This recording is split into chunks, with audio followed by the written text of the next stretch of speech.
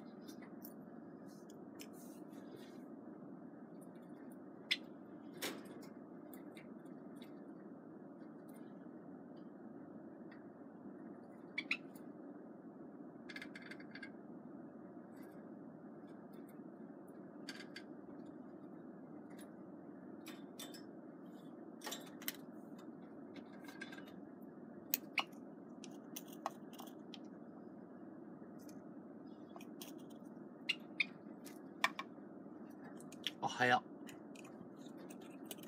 うまい棒、それがさ、あの、うまい棒食ったから、久々ニキビできた。ニキビできて、リンパがパンパンで、リンパパンパン、ニキビ、この二つが今やばい。これ絶対やっちゃダメ、食い物。リンパがパンパツンパツンだよ。パツンパツン。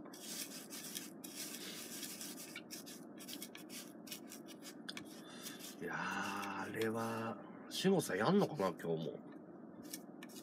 しごさんなんか今日もやるって言ってなかった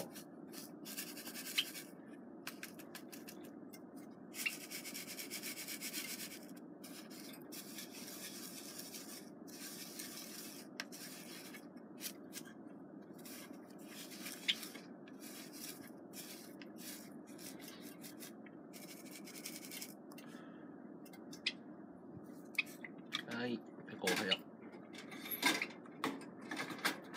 う。ねえ、お疲れだね。おはようみんな。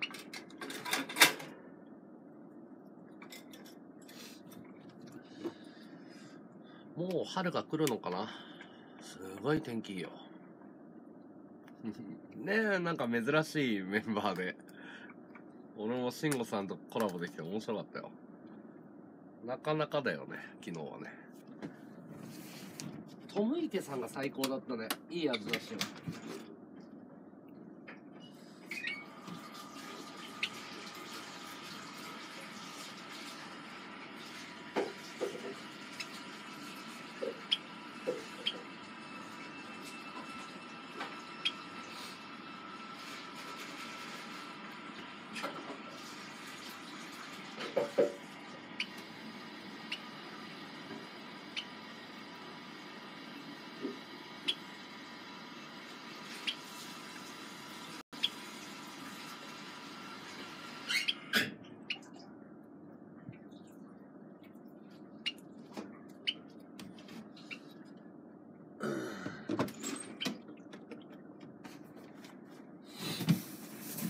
いや、面白かったね。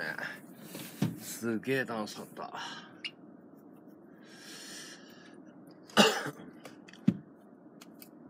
あはよう、谷さん。おはよう。うん。よいしょ。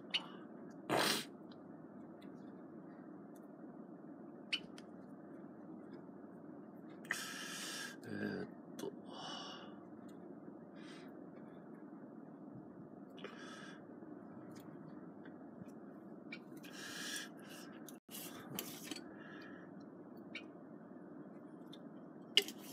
昨日の赤い置物ってなんだろう？赤いも置物？うん。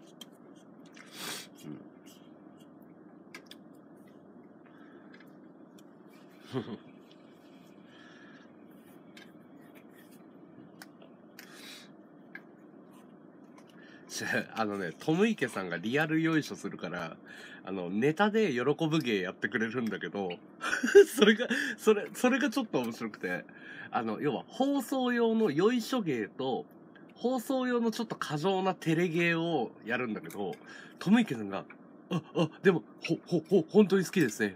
っていう、あの、ガチの普通のただのリスペクトをやるから、あの、トムイケさんの方にガチテレしてるっていうのが面白かった。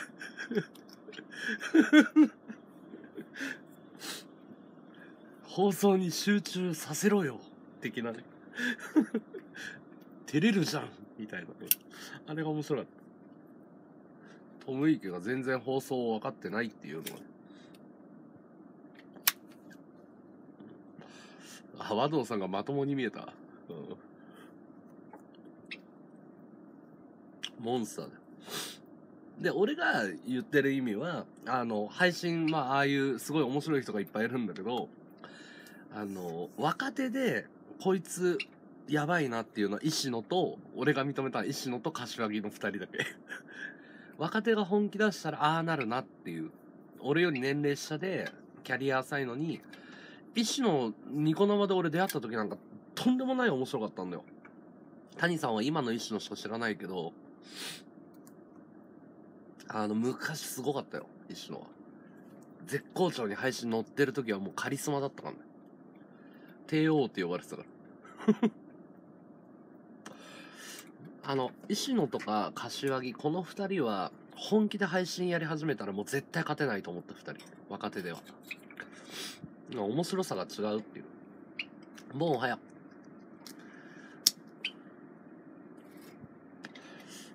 下手したら関慎吾さんみたいになってただろうな。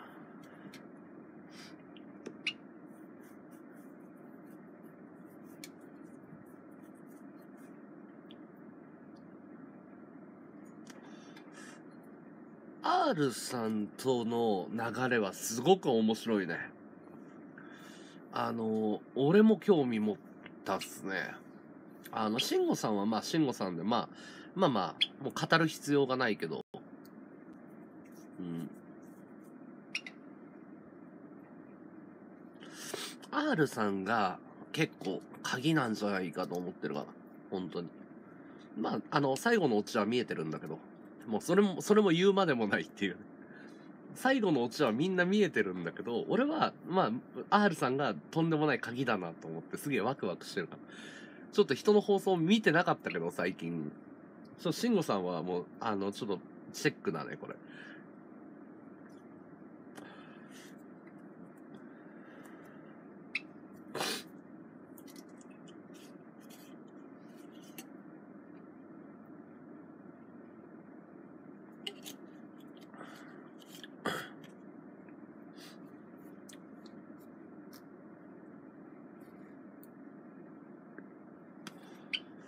うん、普通のふりしてる感じだよね。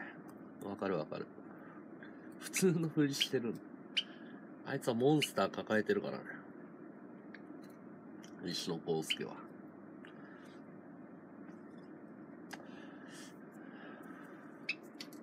あのね、リンパがパンパンっすね。ここがパンパン。あの、走ってて、お菓子とか食べないようになってるから、すっごいわかるんだけど、顔がむくむのと、ここがパンパン。あの、やっぱね、あの、お菓子はほどほどにだよ、ほんと。あの、体鍛えてるからわかる、お菓子食べないから。あかんこれ。ダメ。体には良くないよ。まあ、あんだけ食えやな。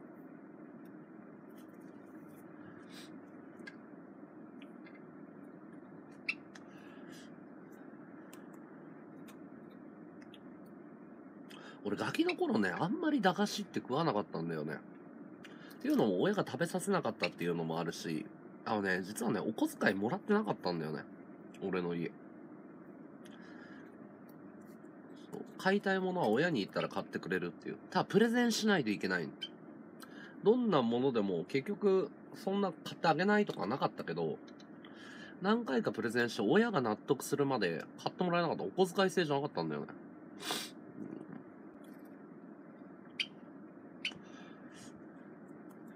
吉江さんに怒られるべきだよね。配信者なら吉江さんに怒られる。まあでも単発になっちゃうっていうのもあるんだよね。絶対面白いんだけど吉江さんに「勝たせ!」って怒鳴られるのは。面白いんだけど30分とか1時間しか持たないしルーティーンだから。おササリーさんおはよう。難しいとこだよね。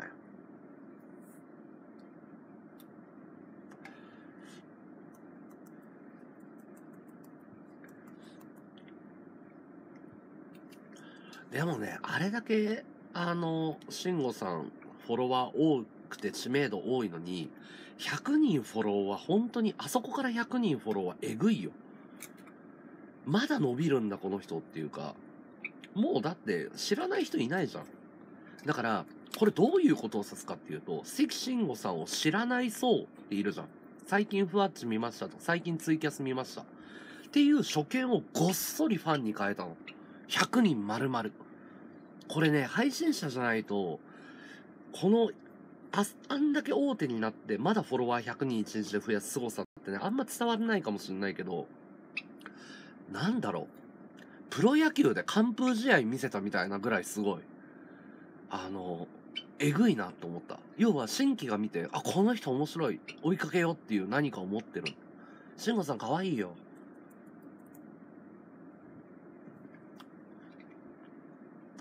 シンプルなんだよね、慎吾さんのコンテンツって。慎吾さんはすごいシンプルなコンテンツやるから、わかりやすい。だから嫌いとかにならないんだよ。好きなんだよ。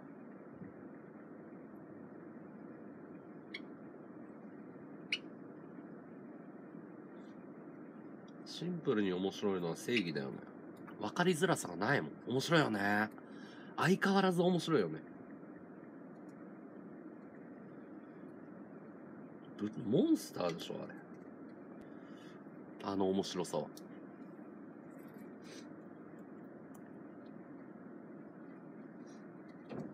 え、いいよね。いろんな人と絡んだ方がいいと思う。あの、大手、大手っつうか、ある程度の人とね。あの、どかそと絡むようになったらくっそつまんなくなると思う。あの、俺絵が見えるの、どかそと絡むと慎吾さん何やるかっていうと、多分いじっちゃう系のキャラやりたがるんだよ。多分。だからね、トムイケと二人だったら、慎吾さんがトムイケいじりに走ろうとしてて、キャラ潰れると思うよ。だからある程度、ある程度の、その、スキルを持ってる人と絡んだら絶対、あの、毎回生えると思う。慎吾さん。うん。いろんな人と絡んだ方が絶対いいのにね。でもまあ絡まないからお得感があるっていう、その、特別感があるっていうのもあるしね。だから天然の部分がうまくはまってるんだよね。本能でやってる部分が、本人の理論とは関係なく面白い方に転がり続けるっていう奇跡なんだよね、本当に。こんな面白くなるっていうね。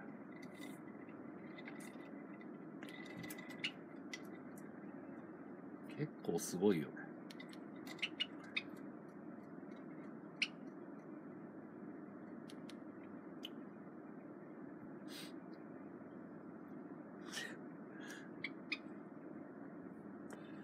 あの、慎吾さんはギリ、あの、健常者だからね。あ、でも本人自覚ないけど何かしらの発達障害は持ってるだろう。発達障害、軽い知的障害。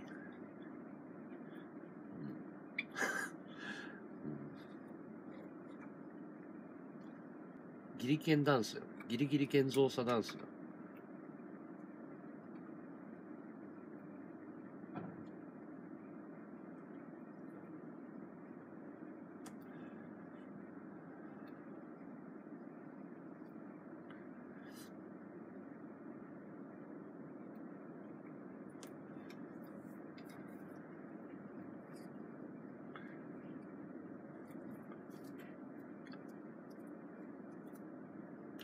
ういえば最近鈴宮春日のコスプレ全くやらなくなったよね。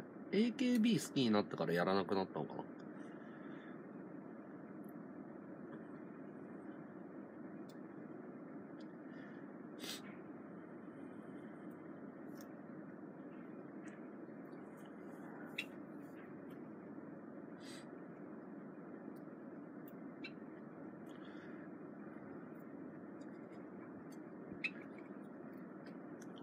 慎吾 VS 和道の押し問答は超面白かった。いや、なんか懐かしい感じしたね。娘も慎吾さんの昔の様子見て笑ってました。ああ、M さん、どうもどうも。え、お嬢さんいんの？え、俺 M さん独身だと思ってた。なんか失礼しました。ごめんなさい、いろいろと。ちょっと恥ずかしいな。あ、そう。お嬢さんいてセクシーですね。初体験のくだり面白かった。うん。おはようございます、カツ船長。なんかな、ニコ生っぽい放送だったね。なんか久々ね。あれコメントに横に流れたらちょっと感動して泣いたんじゃないの？リスナーは。ブワッつって。懐かしいって言って。慎吾さんの神回は何だろうなまあまあ、面白いかんな。何、何もかも面白いかんな。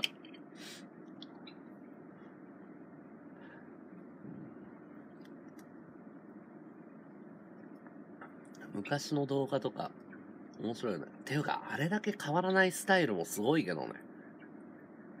全然変わらないよね。何年？もう8年やっててあのスタイル貫き通すってすごいよね。天然系はキャラ変しないのと、キャラ変しないのが武器でもあるし、あの、本、本質が見問われるよね。うん子供の色、色気はあるよ。いない人にはない色気。あー、母性みたいな色気。俺、独身の方だ、独身っていうか、あの、ね、知らなかった、お嬢さん。言い訳ばかりっていうかね、なんだろうな。わかるわかるわかる。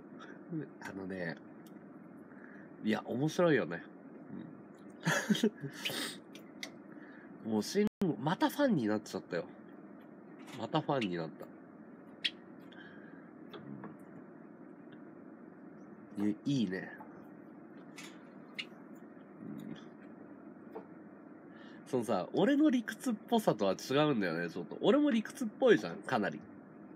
そうじゃなくてね、なんかね、その、その理論も面白いんだよ。その理論で笑い取れるっていうか、俺のはさ、笑い取れない理屈っぽさじゃん。なんか嫌な感じっていうか、自分でわかるの。そう、笑いに変えられない理屈っぽさなんだけど、慎吾さんのは、突っ込める、突っ込みどころがあるっていうかさ、その、おい、わらっていう、その、そういう良さがあって、羨ましいよね。理屈っぽさが武器になってるって。そうそう、ライ、ラ そうそう。うん、そう。あの、なんていうのかな。中学生が必死に考えた最強理論みたいなのを展開していって、あの、突っ込みどころ満載っていうか。うん、いや、あれ、ね、楽しいね。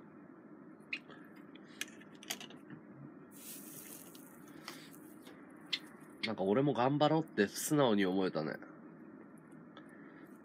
慎吾さん見て、あ、頑張ろうって、配信頑張ろうって思った。配信が楽しいっていう感覚すげえ久々だったもん。この半年間配信がつまらなくてつまらないって毎日言ってたじゃん、俺。昨日は、あのね、トータル22時間配信ぶっ放してたんだけど、ずっと面白かったもん。乗ってたでしょ？なんか。楽しそうにやってたでしょ？配信楽しいと思ったのほんと久々で、すげえ面白かった。配信が。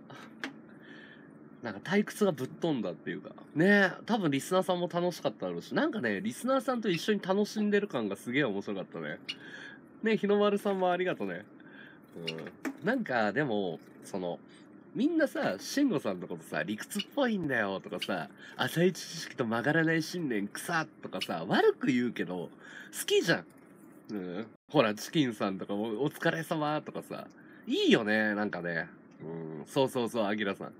ね面白かったね、うゆさんね。そうそう、子供に帰ったみたいな、不思議な魅力あるよね。ノスタルジックな感じなんだよね。こう、昔を思い出すっていうかさ、なんかほっとけないし。だから、慎吾さんやっぱ魅力半端ねえな。うん。いいね。いや、楽しかった。死ぬほど笑った。いや、最高の褒め言葉だよね。慎吾さんも嬉しいだろうし、トムイケ、トムイケも結構いい活躍してたよね。トムイケ、あの、もっと評価されると思うよ、今後。ちょっとね、あの、トムイケいい、かなりいい仕事したんだよ。トムソン池上さん。ただ、あの、系統としては、慎吾さんが上位互換だから、あの、今回フォローの噛み合わせとか、その恩恵はなかったはずなの。そう、慎吾さんとコラボして、慎吾さんから流れてくる感じではないと思うんだけど、他の人とね、ああいうコラボ、トムイケ積み重ねていったら、トムイケ育つと思うよ。再評価されて、また閲覧3桁に戻ると思うけどね。いじられるっていうことを覚えたらね。うん。俺、リリスワン1位じゃないよ、言うた。違うよ。トムイケさんいい中で結構何回か作ってたよ。何回か作ってた。あ、普通に、あ、いい仕事するなと思ったよ。うん。いや、意外とね、そうでもないんだよ。あの、慎吾さんのところは。意外とそうでもないよ。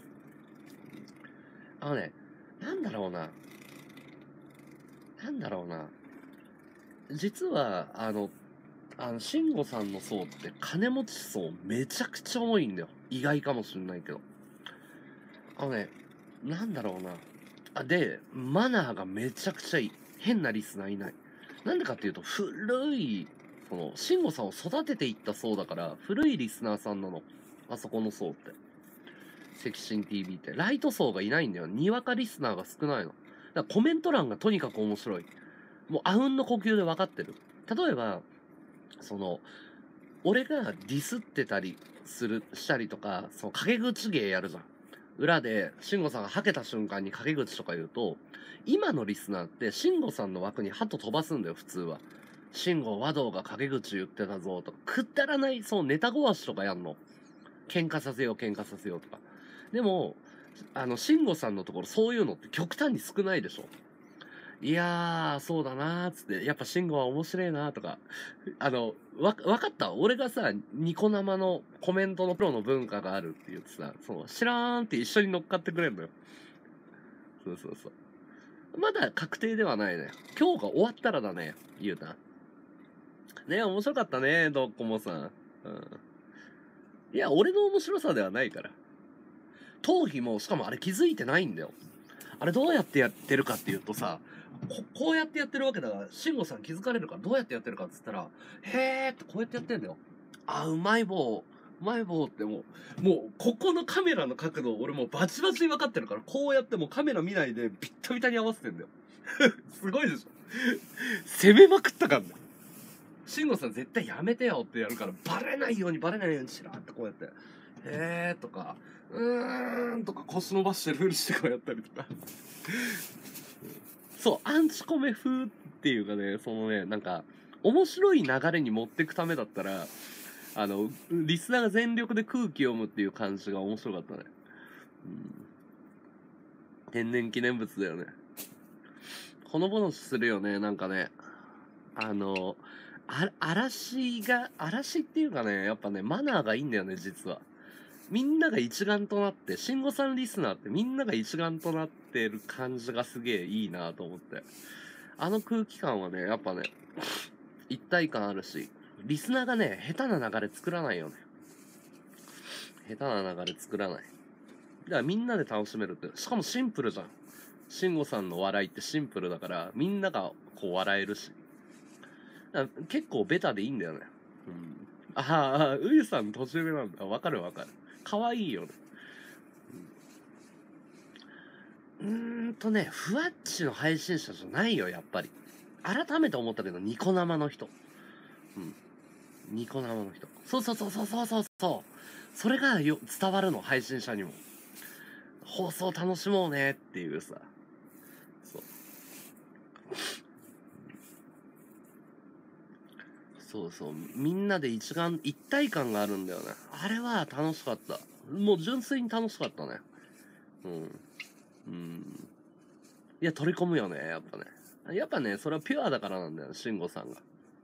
ピュアだから、あの、みんながやると、やっぱり嵐も、あ、荒らすんじゃなくて、俺も楽しもうって、楽しい方に持ってかれるんじゃん。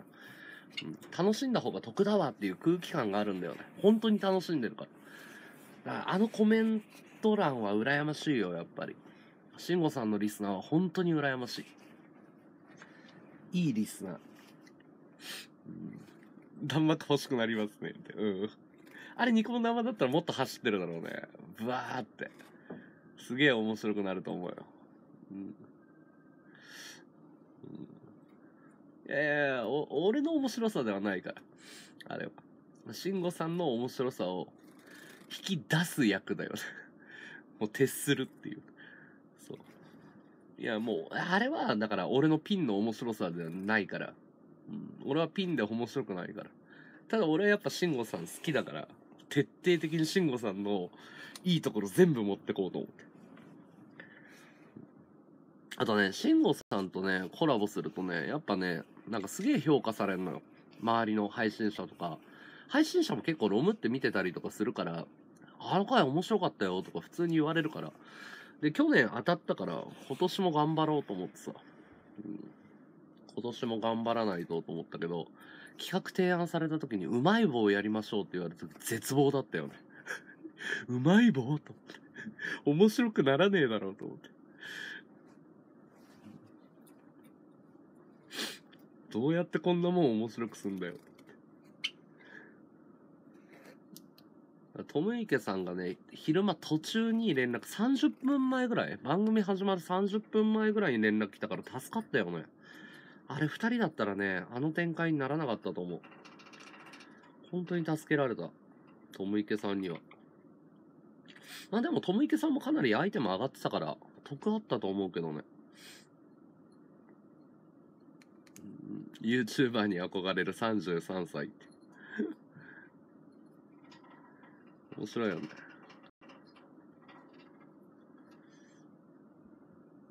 よかったね。うん。いや、あんまり絡まない方がいいんじゃないのかな。うん。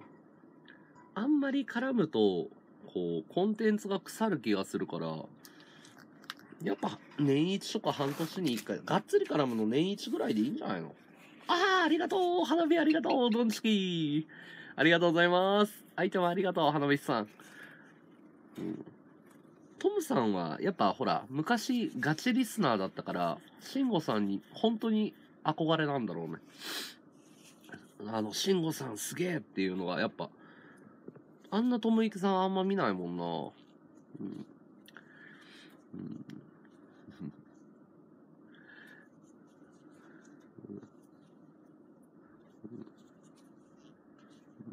一回本気で帰ろうとしたからね。あの、近藤組長の下りは本気で怒ってたからね。あ、まずいと思って、やりすぎたと思って。赤ラークさんと、あの、近藤組長のリアクションの時だけガチで切れてたじゃん。僕はアウトローとか嫌だって言ったじゃないですかって、あれガチだからね。あそこだけ本気の本気だから、もう帰るっていう、あの、R さんの時の、もう帰るの、近藤組長の中の時は、やばいと思って、いじりすぎたと思って。でも面白いのが、いや、一旦落ち着きましょう。座りましょうって言ったら、素直に座るっていうのが面白かったね。あ、粘らないんだと思って。うん、じゃあまあ座るか、みたいな。嘘だろって思った。スッと座ったから。ちょっと面白かったよね、あれ。着席早えなと思って。面白かったね。お疲れやな、ラッキー。いやだってあそこで変えられたら企画終了だからねあんな中途半端に終わったらボロボロに叩かれるからね。お前が企画潰したとかずっと言われちゃうからやばいと思って、うん。まあでも、あれでしょ？結局、プレミアムリスナーも1万5千人増えたんでしょ？あれ結構良かったんじゃないの？なんだかんだ6位まで上がったのかな？うん。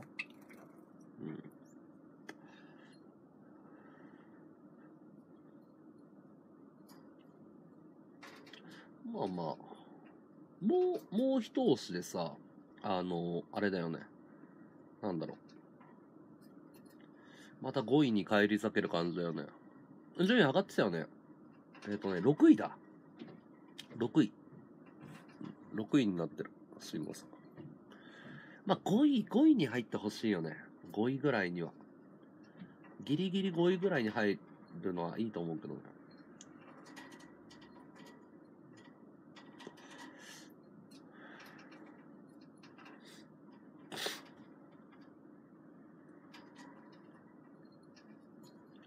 や、楽しかった。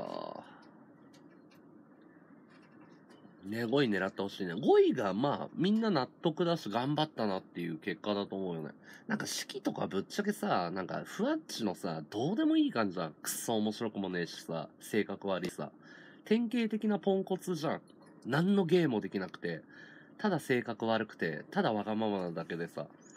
だったら、ああいうさ、なんだろう、本当に面白い人に撮ってほしいよね。いや、そう思わない？何にも面白くないでしょ、式とか。ただ性格がクズなだけじゃん。あんなに30万とかもら、もられてもね、ふざけんなって思うよね。我らが、我らが赤心の方が、うん。慎吾さんに金渡した方が無駄遣いで面白いからね。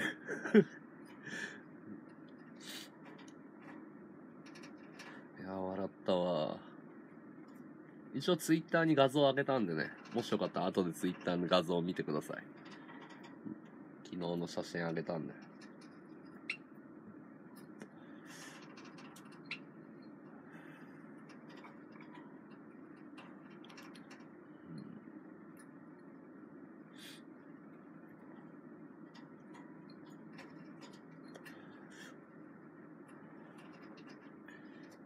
昨日でもなんか写真が全くなかったな。普通にずっと楽しめたっていうのは久々だったな。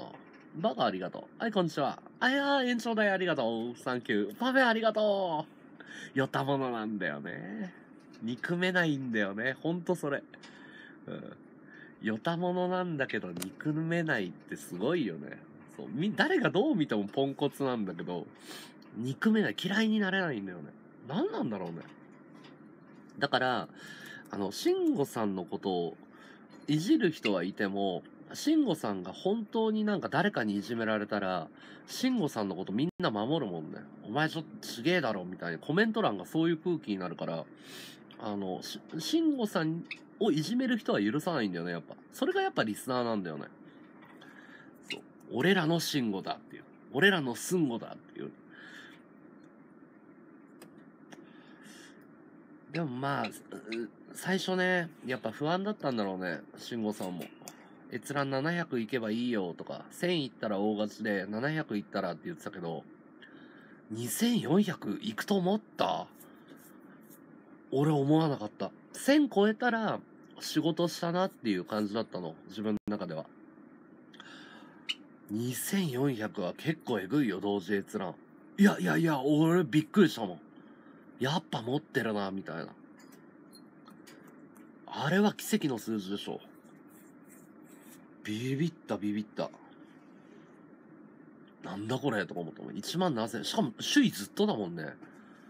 まあ、金梅さんからの助け舟もあったけどね、閲覧誘導してくれたっていう。お疲れ様でした。面白かったね。みんな、いや、あれじゃん？やっぱ面白い、本当に面白いコンテンツっていうのが、あれ？ってこれ、なんか、部屋で酒飲んでぐだぐだ悪口言ったりとか、警察沙汰とかじゃなくてこっちの方が面白くねってなったよね。絶対若手にハードル上がったと思うよ。うん。あ、そうなんだ。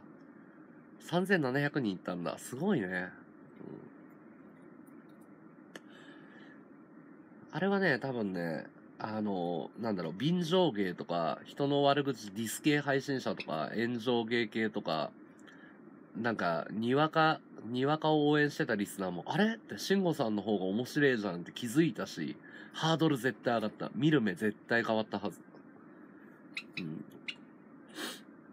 ねえ。うまい棒で2400。まあまあ、うまい棒、うまい棒はね、あくまでサブにもうぶん投げてたけど、他の企画やってもなんか面白そうだよね。うまい棒にこだわらなくて。途中でね、うまい棒の下り捨てようかなって思ったシーン何回かあったよね。よっさんのリアトツとか、ツバニャンとか善一さんと歌舞伎町行っての流れとかいろいろ考えたけど、それこそ、まあ、選択はしなかったけど、ワンチャン近藤組長が乗り込んでくる流れで、本当の神回狙うっていうのもあったけど、いろんな展開が見えたのが面白かったね。でも結局、慎吾さんの、その、うまい棒だけでやるんだっていう、こだわりがあったじゃん。いや、俺はうまい棒だけでやってくぞっていう。難しかったけどね。うん。全然した。今眉毛ないよ。したよ。うん。いや、いや、お、俺がっていうわけじゃないと思うよ。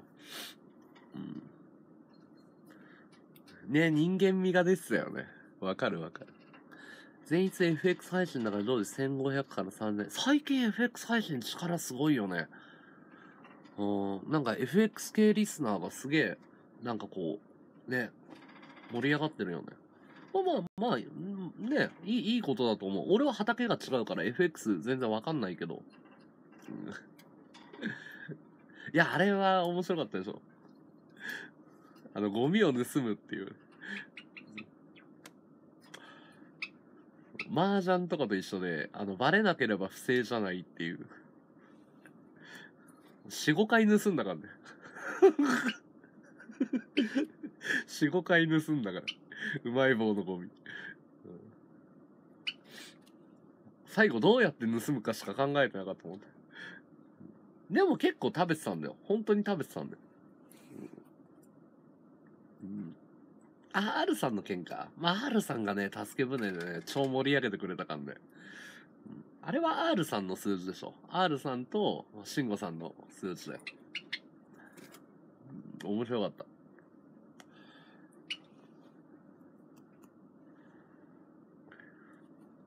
いや、あのね、実はね、もう、勝ってるのは、トムイケと分かってたの。慎吾さんペースが遅くて。あ、もう絶対これ勝ちの、普通に勝ちの流れになるからっていう。そう、配信的な理由も回してるのよ。頭で。で、これ盛り上がんねえだろうな、みたいな。そう。だったら勝ってる方が不正するっていうの面白いじゃん。負けてる方が本来不正するんだけど、慎吾さんそういうことやらないから。自分からは仕掛けない人だから。やっぱ後輩が流れ作んないとね。うんあ、だから、それが面白くないリスナーよ、みーすけ。それが、さ、配信を寒くするリスナーよ。うん。あの、不正なんてするなってガチ切れしてんのがバカな。盛り上げようとしてるわけじゃん。そんなんだって、ねえ、俺らなんて眉毛全剃りとか坊主とかスキンヘッドとかさ、裸でエプロンとかさ、罰ゲームなんか何にも聞かないんだから。うん。うんいやー、難しかった。本当だよ。うまい棒で閲覧取りたい、アウトローは禁止、妻にはよ呼べないとか、どんどんどんどん制約が重くなっていくんだもん。ほんとほんと。いや、だからそれが伝わってんのは、アキラさんが配信見る目あるんだよ。ちゃんと分かってて、本当に難しい流れだよね。えって。アウトロー呼んでも閲覧ぶっぱねる。妻なん呼んでも閲覧ぶっぱねる。ねえ。なんでこの人ハードル、ね、R さんを優先するとか言い出す。全部さ、その閲覧が減る方に流れていくの。嘘でしょ？嘘でしょ？みたいな。R さんよかったね。超面白かったね。慎吾さん分かってるんだよ、だから。慎吾さんは放送的なこと分かってる。だから、和道がトイレ行くっていうくだりとか、タバコで後ろ向くっていうのは不利だなっていうことを理解するわけじゃん。そうそう。あそこで、なんでトムイケトイレ行かないんだろうっていうのは、俺の中ではハテナマークだけどね。本当に勝とうとしてるっていうね。それがちょっと面白かったけど。ほ、本当にガチで、ぼ、ぼ、ぼ、僕は不正は嫌いですとか言って。で、かたくなにトイレ行かなかったんだよ。バカだろこいつとか思って。ここはトイレ行く流れだろうっていう。一歩も動かなかったからね。ほんとね、200本しか食えなかったね、結局。まだ800本トム池さんの家にあるよ。うん。うん。あっからさまに減ってたからね。結構ガッツリ10本ぐらい持ってかれたよ。ゴミ。さすがに結構奪われたなと思って引いたもんね。2枚3枚だったらわかるけど、結構がっつりいかれたなと思って。池上は、トム池さんも天然タイプだけど、真面目系なの。ガチ系の人なの。トム池さん。そう。そうね、全部食べえ、でもなんか今日もやるとか言ってたよ。慎吾さん、今日か、まあ、なんか全部食べるまでやりましょうって言ってたよ。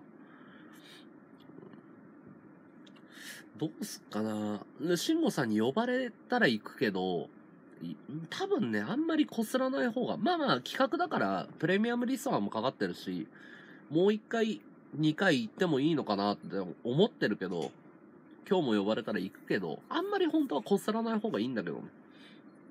ていうかあんなうまい棒食ってまた面白くするなんて余計ハードル高いでしょ。別の企画やった方が多分リスナー的にはいいと思うんだけど。あんなうまい棒の企画は、なんだろう。それこそうまい棒、トム池さんからバトンタッチして若手がやりたいっつったら、あげればいいんだよ。捨てるのはダメだから。うーん、うーんとね、いや、言った方が俺は得だよ。慎吾さんもトム池も得だけど、だんだん飽きてくるのよ。リスナーが。またこれかよっていう。そう、展開も見えてくるじゃん。絡みの。あ、またこうなってこうなってって。展開が見えないからワクワクするっていうのはあるから、だから実は受けたネタをこするのはね、あんまり良くないと思ってんだよね。ほら、面白かったじゃん。昨日は昨日で。だけど、ネタ出し尽くした感があるから、まあまあ、まあ言ってもいいけど、別の展開狙うよね、俺は。家帰ったよ。あの、帰った帰った。夜中の1時ぐらいに帰って、3時ぐらいに家着いたと思う。まあでもなんか別の展開の方がいいよね。そうそうそうそう。九州ダンディさんみたいに、ももし食い物で行くんだったら、他の展開行くとかさ。うん。あ、俺はだってあれだもん。ほら、コメント欄にあっても、あったけど、沼使いとかポケモンマスターって言われてて、あの、ポケモン、ポケモンま、あの、ポケモン、沼、沼キャラとか天然キャラとかポケモンって呼んでんだけど、ポケモンが現れた時の和道は、ほんと映えるよねっていう。だ、その、昔で言うと、ロハコさんとか、まあ、海宝とか天然キャラクターと噛み合わせたら最強だって言われて、ポケモンマスターっていう、そう、沼使いとかポケモンマスターってもともと異名があったんだ。天然系の人との噛み合わせはすごい昔から得意なんだ。うん。トム トムズ入る前トイレ臭。いや、あの、本当に臭かった。部屋の中はね、あれね、トム、トム池さんの問題じゃないの。物件がトイレの匂いなの。玄関が。あの、おえってこう、もわっと込み上げてくるトイレわかる？古いトイレっていうか。で、清潔なんだよ。何なんだろう、あれ。清潔なのに、なんかね、下水かなんかの匂いなんだよね。もう裏から込み上げてる匂いってわかるでしょ？あれが玄関中に漂ってて入れないの。うん。ロハコさんとかさ、ロハコさんともあのキャラクターで俺は、その、なんつうの、ドキュメンタリー作家風になったりとか、インタビュアーになったりとか、その、回しの方に黒子に徹するっていう、自分のキャラを押し殺してっていう。で、たまにいたずら仕掛けるっていう。いや、本当にきつかった。入り口最初来た時。そう。だからトム池さんが不潔だっていうキャラクターになっちゃってるけど、違う。物件が半端じゃなく臭い。入れないよ、本当に。無理だって思ったもん。こんなので1時間2時間やったら死ぬって思った。物件、なんだろう、こう、もわっとする草津あるじゃん。うーってなる。あれが入り口中に漂ってるの。で、部屋に入ると若干和らいで慣れてくんだよね。あれは女の人入れないよ。入り口でごめんってなる。うん。入り口でギブってなるよ。まあでもほら、金がないんでしょ。3万円の物件だよ。ここ結構立地いいよ。だって、都庁が目の前に見えるんだよ。で、友池さん、こっから歩いて5分、10分ぐらいだから、こういうタワーマンションとか見えてる物件だよ。無理だよ。こう高級住宅街だから。本当はこ、ここも6万円なのよ。ここも6万円だけど、あの、本当はこの辺のワンルーム、1K とか12万とか13万とかするエリアなの。で、友池さんの方も高い、高い方なのよ。ここよりも安いけど、3万であんな物件見つかんないよ。ポットン便所ではなかった。水洗の和式だね。狭い斜めにつけて、タチションもどうやってやんだこれみたいな。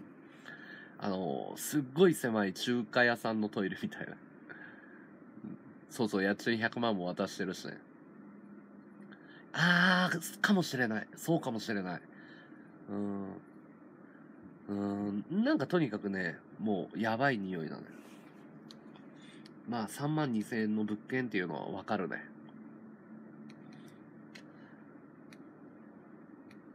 まあでもね、頑張ってるでしょ。東京で3万2千円で共同で、ね、ああいうところで下積みやって。わかる。和式は無理だよね。いや、いや、いや、いや、あの、わかんないよ。本人がやりたがって夢をもっと追っかけてんだからいいんだよ。あ、ツイッターフォローありがとう。ツイッターもフォローしてくれた、今、誰か。ありがとう、ありがとう。昨日の慎吾さんの写真載せてるからね。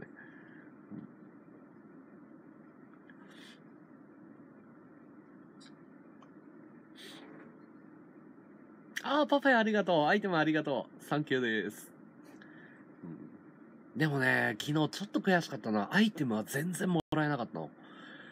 だけど、珍しいでしょ？金金金金って言うけど、全然金じゃなくて、むしろ金払うぐらいの勢いだよね。面白すぎて。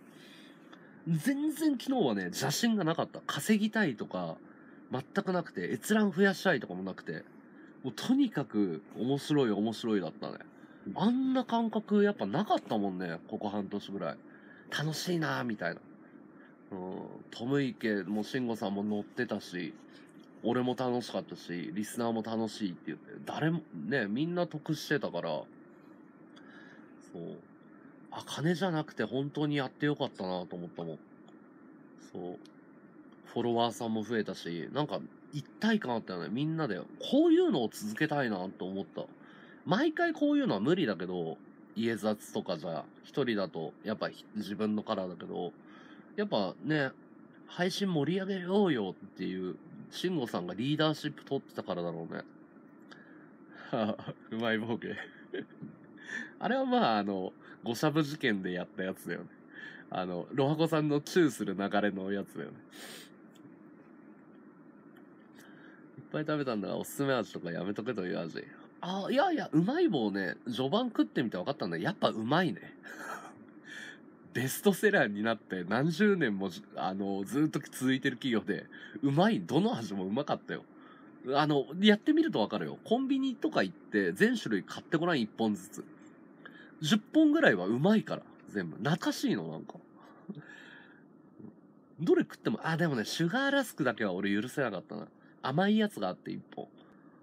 そうそう自然とついてくるなって本当思ったね いやパン粉さんどうもどうもパン粉さんもね、あの、同、同業目線っていうかね、パン粉さんもくぐつ回しね、慎吾さんずっとやってたわけだから、なんかシンパシー、ね、あ、ここはこうやってやるんだとかね、慎吾さんいじる系ですもんね、パン粉さんも。パン粉さんま、ね、パン粉さん今絡まないの？慎吾さんと。なんかね、ライバルキャラだからね。ワンチャンパン粉さんの絡みねえかなとか思ったけど、うまい棒うまいよ。いや、うまい棒だよ、まさに。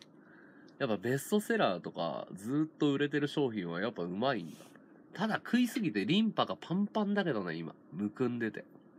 すっげえ朝起きてここパンパン。ニキビもできたもん。ここ。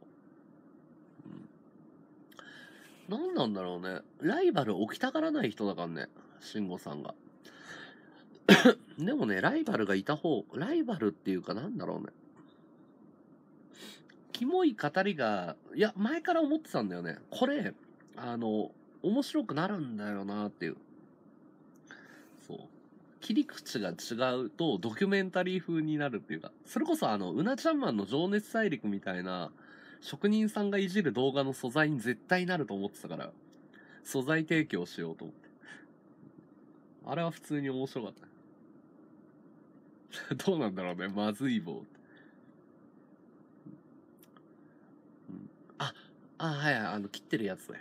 スナック菓子。でも、うまい棒をさ、輪っかにしちゃったら、ただのコーンスナックだからね。カールとかと一緒だからね。ワイライバル、やっぱり昔ニコ生で言われてたのはワンワンとか、あの、女の九州のワンワンいるでしょ。あいつとはもバッチバチにやり合ってたね。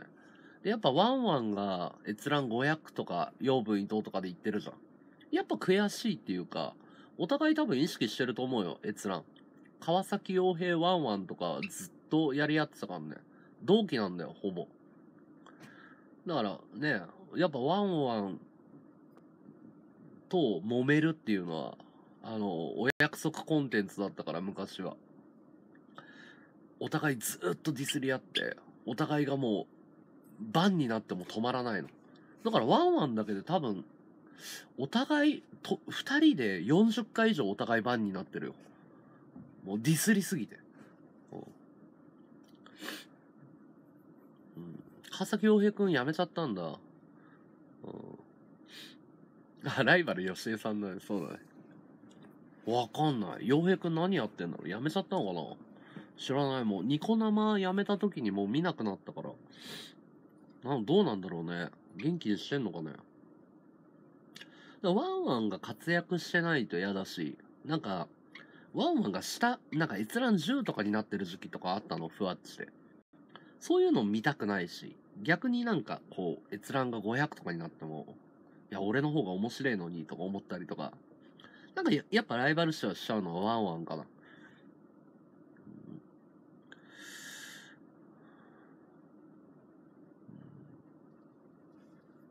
いやこすってもダメでしょ。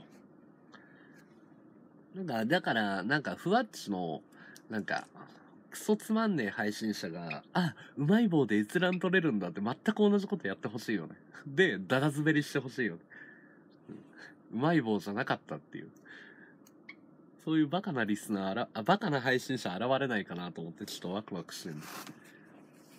うまい棒やったら閲覧2000いくんだっていうバカな、バカなやついねえかなと思って。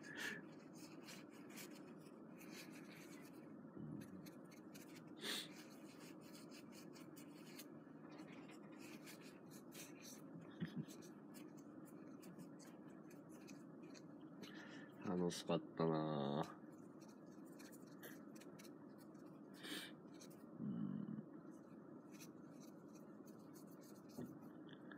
うん。あ、そうなんだ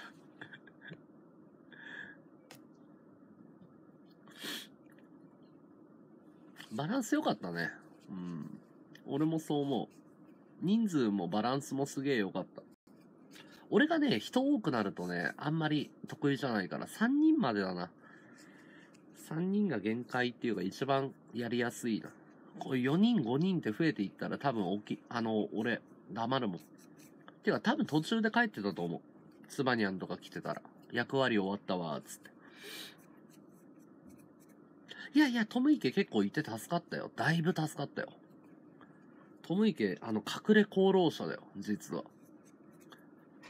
トムイケいなかったら持たなかったな。だからトムイケも結構笑い取ってたんだよね。一人でディズニーランド行きますとか、その、分かっててやったけど、恋愛のくだり振ったじゃん。あれ実は R さんをピキらせるためにやったんじゃなくて、オチはトムイケは童貞だっていうオチを想定して振ってたの。そう。だから結構あれ面白かったな。もっと評価されていいと思うよ、トムイケは。そう。一人でディズニーランドのくだりは結構俺じわ、じわりじわりと来たもんね。なんか、スプラッシュマウンテン3回乗るとかさ。面白くなかった？俺は結構、なんか、ちょいちょい助けられたなと思ったけど。あ、こんにちはっす。どうもどうも。結構楽しかったよ。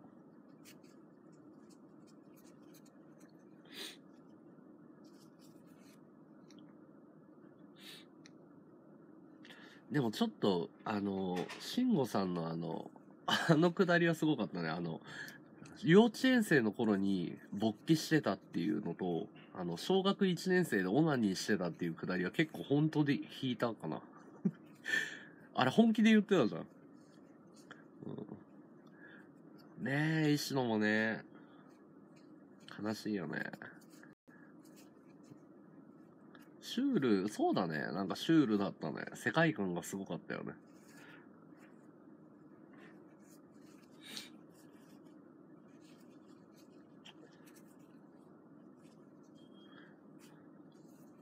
本当に変態なんだなっていう。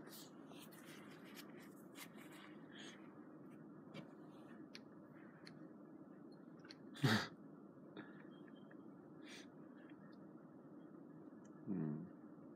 そんなこと聞いて嫌われたよ。うんいや R さんがいい味出してるよね。R さんすげえ。R さんとの今後の展開は普通に俺、リスナーとして、多分、セキシンゴリスナー復活すると思うもん。最近がっつり見てなかったけど、たまに暇な時見るぐらいだったけど、多分張り付くと思うよ、ここ1ヶ月ぐらい。いや、なんか今日やるとか言ってたよ。今日またこするっぽいよ。まあ、2月はほんとプレミアムリスナー。でも俺、鮫島さんとかと絡んだ方がいいんじゃないかなとか思ってんだけどね。鮫島さん来てもらえないかななんか鮫島さんと慎吾さんは、逆になんかスパーク、また別の展開でスパークしそうな気がするんだけど。うん。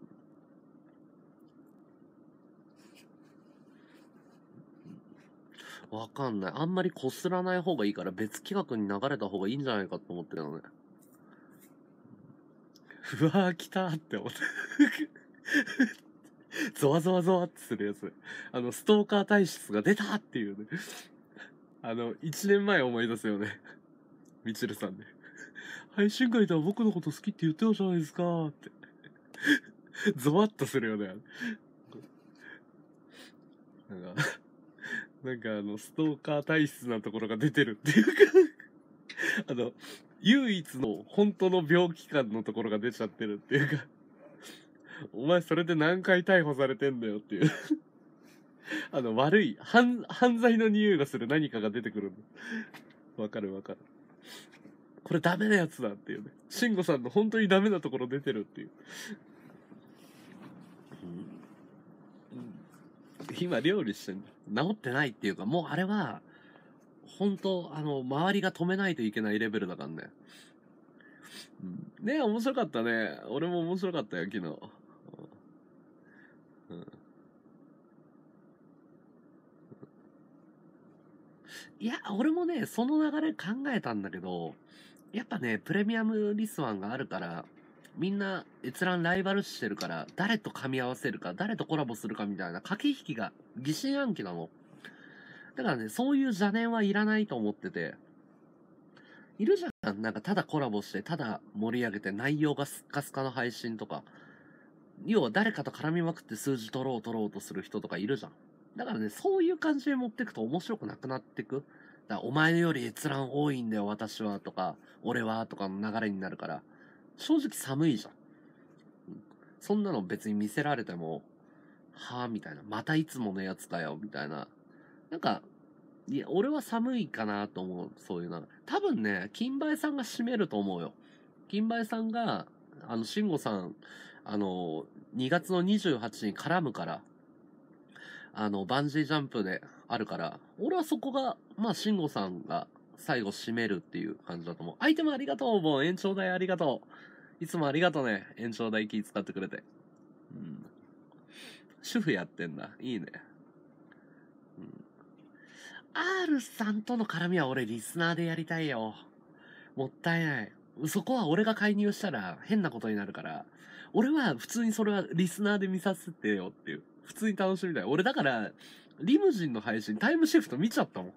R さん気になって。それくらい魅力的だと思うね。R さんなんか、ツイッターとかでは名前聞いてるし、なんかリムジン配信って聞いてたけど、見ようとは思わなかったけど、やっぱ引き込まれたもんね。タイムシフト見なきゃって、久々タイムシフト開いたもん。うん、ねえ、金梅さんと慎吾さんの絡み楽しみだよね。バンジー、バンジー。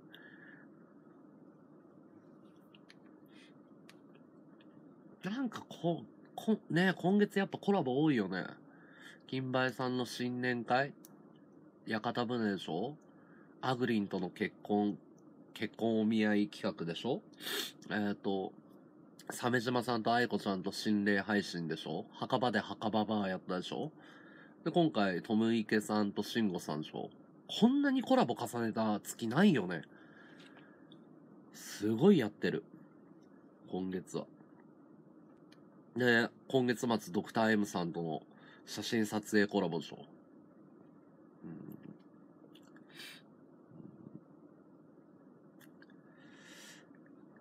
みんな頑張ってるよね。いや、俺配信好きな人をやっぱ応援したいよね。俺がなんかプレミアムリストン撮りたいとかじゃなくて、やっぱ好きな人が撮ってもらいたいっていうか。それ、そのためだったら全然俺はやるよ。回るよ。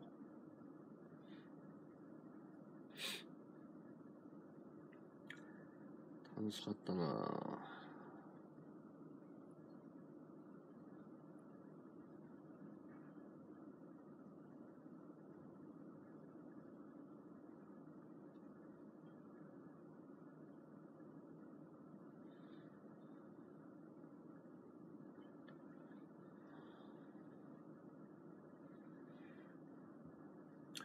配信するでしょ？だって今日配信しなかったら、せっかく昨日の頑張りが全部水の泡だからね。もう今月は毎日配信しないと、それこそね、もったいないでしょ？下手したら抜かれるからね。配信何があるかわかんないから、もったいない。やった方がいいよ、絶対。うん。いや、M さんね、違うよ。プライベートとか電話とか、そのコラボとかで話す、すっごい柔らかいんだよ。シャイな人の。すごい可愛らしいんだよ。少女というか。ずんごのバカさ加減リアルに、あの、作ってないからね。嘘だろっていうね。これ本気で言ってるんだっていうのがわかるよね。人をワンクッション置くと。俺も去年初めてコラボした時ビビったもん。え、これキャラクターじゃないの？とか思って。嘘だろ？と思って。天然でこれ言ってんの？って。びっくりするよね。やっぱ天然は最強だよ。勝てないよ。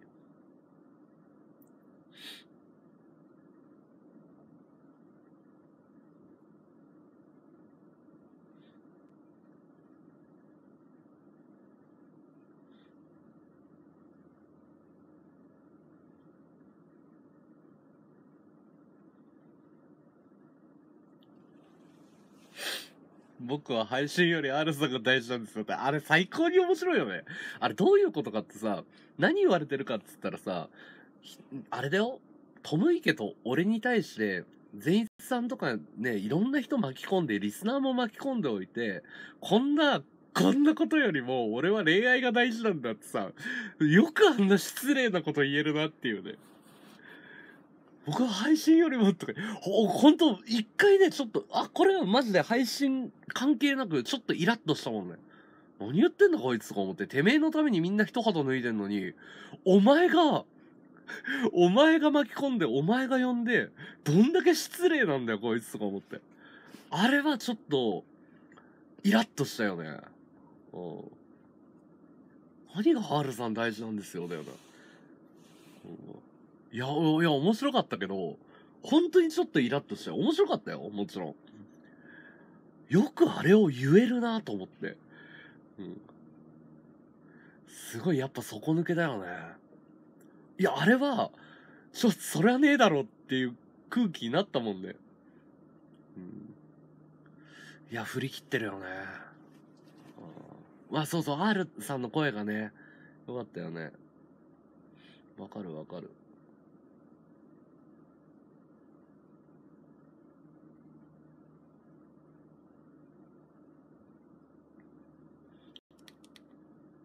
そうそうそう、お前のリスワンのために全員協力してんのに、お前が、僕は配信より R さんの方が大事だって、ふざけんじゃねえバカ野郎っていうね。いやいや、そこが面白いんじゃん、スラップさん。まあまあまあ。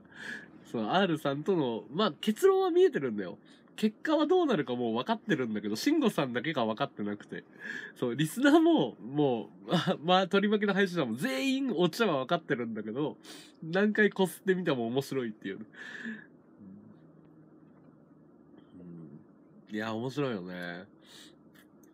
オチは分かってるんだよ。言うまでもないんだよ、そんなこと。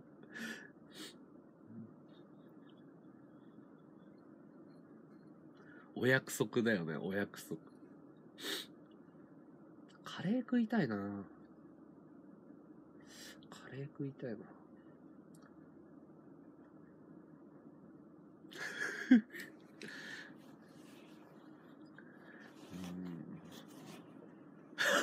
うん。そうそうそう。R さんに、R さんにそんな話したらダメだよ。って怒られた後に、俺あえてそのシーンっていう空気作ったら、あ、と、ところで和道さんディズニーランド行きますか？とか。ディズニーランドの乗り物何が一番好きですか？下手くそかよとか思って。回しのポンコツさね。そう。あれは意地悪したの。回さないよ。フォロー入れないよ、俺は。苦しめ、と思って。あえて無言になった。回し始めてる。どんだけ遠くへ。あ、ありがとう花火3つありがとう。ありがとう。あれは笑ったよね。嘘だろと思ったこの流れで、ディズニーランドの乗り物かよと思ったら、もう、と思ったらトム池がフォローが入るんだよ。後ろのもう一人の天才が、もう、僕は一人で結構行きます。スプラッシュマウンテンって乗るんかいと思って。そこ食いつくんかいお前と思って。だからそういうところが助けられてんのよ。そう。意外とこいついい仕事するなっていう。隠れた才能。その原石みたいな。ダイヤ、ダイヤモンドの原石がいるんだよ、ここに。後ろに。それがちょっとじわじわ来るんだよ。お前ここで助け舟出せるんかっていう。そこの引き出し開けるのあ、持ってたのその引き出しみたいなさ。何なんだこの天才たちはっていう。そう。バックアップとしての、そう。沼のバックアップが メイン、メインの沼が、主役の沼が調子悪くなると、バックアップの沼が活躍し始めるっていう、完璧なシステムだったんだよ。うん、すげえ、助かったよ。トム池はもっと、あの、評価されていいっていうか、結構いい仕事したよね。ただの置物じゃないっていうか エスペさん、ういすいす。いや、ディズニーの話面白かったよ。あの、一人で行くくだりとか、あの、乗り物、まあ、二つ以外は全部乗れますね、とか、一日でお前一人で何個乗るんだとか、す、す、す、スプラッシュマウンテン三、三、三回は乗ります、と かどんだけ好きなんだよって。元を取ろうとする感じで。た、た、た、た食べ物は食べないですね、って。いや、よ、よ、いい、いい、いい、噛み合ってるなっていうね。うん。ね期待してない分、ボケでかい。そうそうそうそう。面白かった。池上が結構得点、結構いい得点何回か決めてたよ。メインストライカーじゃないにしても、右サイドから結構上がってくるな、こいつ、みたいな。う ん面白かったね。なんか、何回か笑えるくだりあったもんな。ああ、ありがとうございます。花火ありがとう。うん。ポケモンマスターなんだよ、僕。はい。沼使いとかポケモンマスターって言われてるんで。あの、沼が現れると、あの、なんか、あの、すごいパワーを発揮するんですよ。また来て、また来て、フォローしてね。花火ありがとうございます、徳明さん。あのね、そうなんだよね。トム池さんキャラかぶりしちゃってんのよ。要は、慎吾さんが上位互換だから、そう、そこはね、あの、やっぱ慎吾さんには勝てないけど、でもね、俺ね、なんだろう、他の人とトム池さんコラボしたら絶対また映えるシーンがあるから、多分再評価される時来ると思うよ。さすがにその閲覧1000とか行く玉じゃないけど、まだまだ。磨いていったら、閲覧100安定ぐらいには戻ると思う。うん。ちょっとね、今回噛み合わせが悪かったんだよね。慎吾さんが上位互換だったけど、あの、ともいけさんはね、あの、いい、いい仕事してたっていうか、あの、評価低すぎるぐらいだと思ったよ。もっと評価されていいのにっていう。うんシュールだったね。ありがとう。うん。ありがとう、ありがとう。そう、慎吾さんと絡むとね、得をするんだよ。すごい良かった。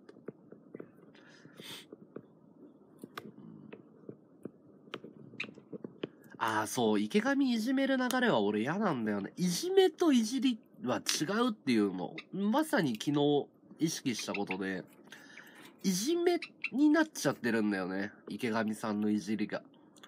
そう、いじりって信頼関係がないとできないし、そう、いじめたら見てるリスナーも気分悪くなっちゃうの。ギリギリの紙一重に、じゃん。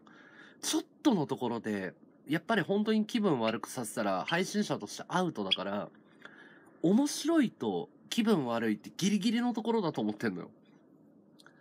そう。だからね、そうなんだよね。池上をいじめちゃう人はダメだよね、配信者としてね。あー、R さん昨日楽しかったね。俺も楽しかったよ、R さん。ありがとうね、盛り上げてくれて。ごめんね、あの、LINE 交換しようとか冗談だからね。DM とか。あの、でも、R さんが冗談分かってて、Twitter の DM 作るね、和田さんとか、今度コラボしようね、とか、分かってるわ、R さんと思って。でも、突のタイミングとかも絶妙だったし、R さんすげえ、ね、冗談分かってくれる人ですげえよかった。ねあれを本気に捉えてる、慎吾さんだけが本気に捉えてるのがすげえ面白かったんだよ。だ、ダメだよとか言って。R さん、ダメだよつって。ねえいや、昨日 R さんがいなかったらこんなに面白くなかったよね。最高だったよね。俺もうなんか R さんと慎吾さんの今後の流れ絶対見逃さないようにしよう。ファインプレーだよね。超良かった。うんあーどうだろうね。トム池さんと慎吾さんが二人だったらどうなってたかっていうと、多分慎吾さんがトム池さんをいじろうとして、トム池さんが素になっちゃって、なんか、スパークはしなかっただろうね、多分ね。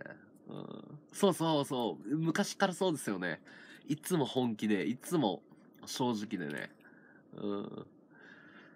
ねそうそうそう。だからね、あの、トム池さんとだけだったら噛み合ってはいなかったのかなっていう。まあ、閲覧1000は行ったと思うけど。うん。はい、こんにちは。マリルモンいらっしゃい。いや、あんなに行くのはね、すごいよね。やっぱ天才だよな。閲覧2400は想定全くしてなかった。1000超えたら勝ちぐらいに思ってたから、もうもうホームランでしょ。ホホームランどころ完封試合だったよね。もうだって本当に面白かったって言われたし、俺も面白かったもんね。なると思うんだ。噛み合わせがあるから。だからね、あの、回しが上手い人、だから、鮫島さんとのバージョン見てみたいって言ったの。俺が抜けて、鮫島さんと慎吾さんともう一人。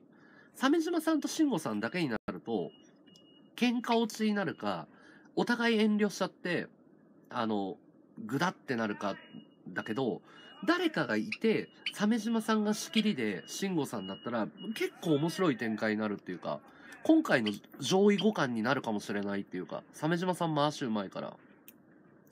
だから、どうなるかはわかんないよね。いや、もう、朝飯うまい棒とか嫌だよ。うんねすげえ楽しかった。ハードピュアっていい言葉だね。ハードピュアっていう。うん、グッジョブだったよね。そうそうそう。R さんが面白い展開作ってくれたよね。うん、好かれたい女がいるのには風俗の話を永遠にする。しかも乗っていくのが良かったよね。僕36人とか言って、嘘でしょとか思って。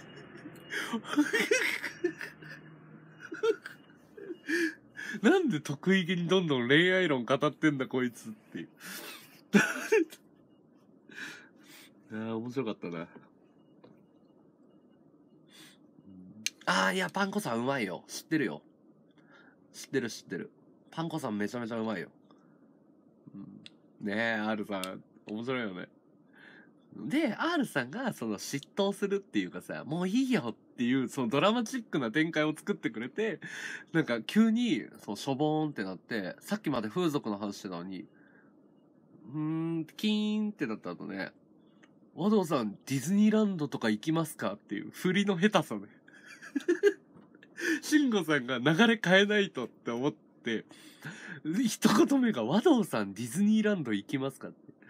なんだそれと思ってこの流れでそれねえだろっていうのがすっげえ面白かった。さっきその話してたんだけど。慎吾さんが司会に回ると、ディズニーランドどこ行く話になるんだと思って。ああ、これは慎吾さんが悪いですよって。うん、ああ、懐かしいね、大根さんね。あの、ブル、ブルマじゃなくてなんだっけ？あの、ビーデルさんの声のね。大根さん声めちゃめちゃ可愛いんだよね。うん、懐かしいね。いや、面白かったね、R さんね。あ、R さんの告白の練習はもっと擦りたかったんだけど、あんまり面白くならなかったからスッてやめたよ。ショートコント。あれはよくやるんだよ、俺が。うん。うん、あの、俺はよくやるんだよ。ショートコント。だけど、あ、このくだり面白くなんないなと思ってすぐやめた。面白かったよね。コーヒー買いに行こう。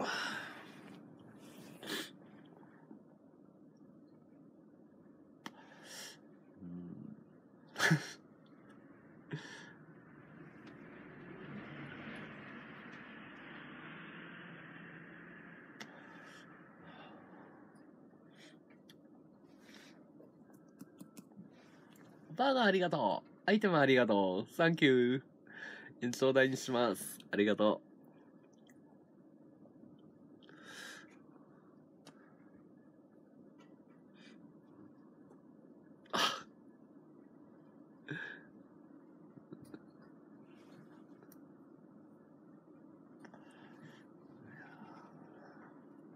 あれ YouTube で。あ、初見さんいらっしゃい。どうもどうも。アイテムありがとうね、初見さん。面白かったらフォローしてね。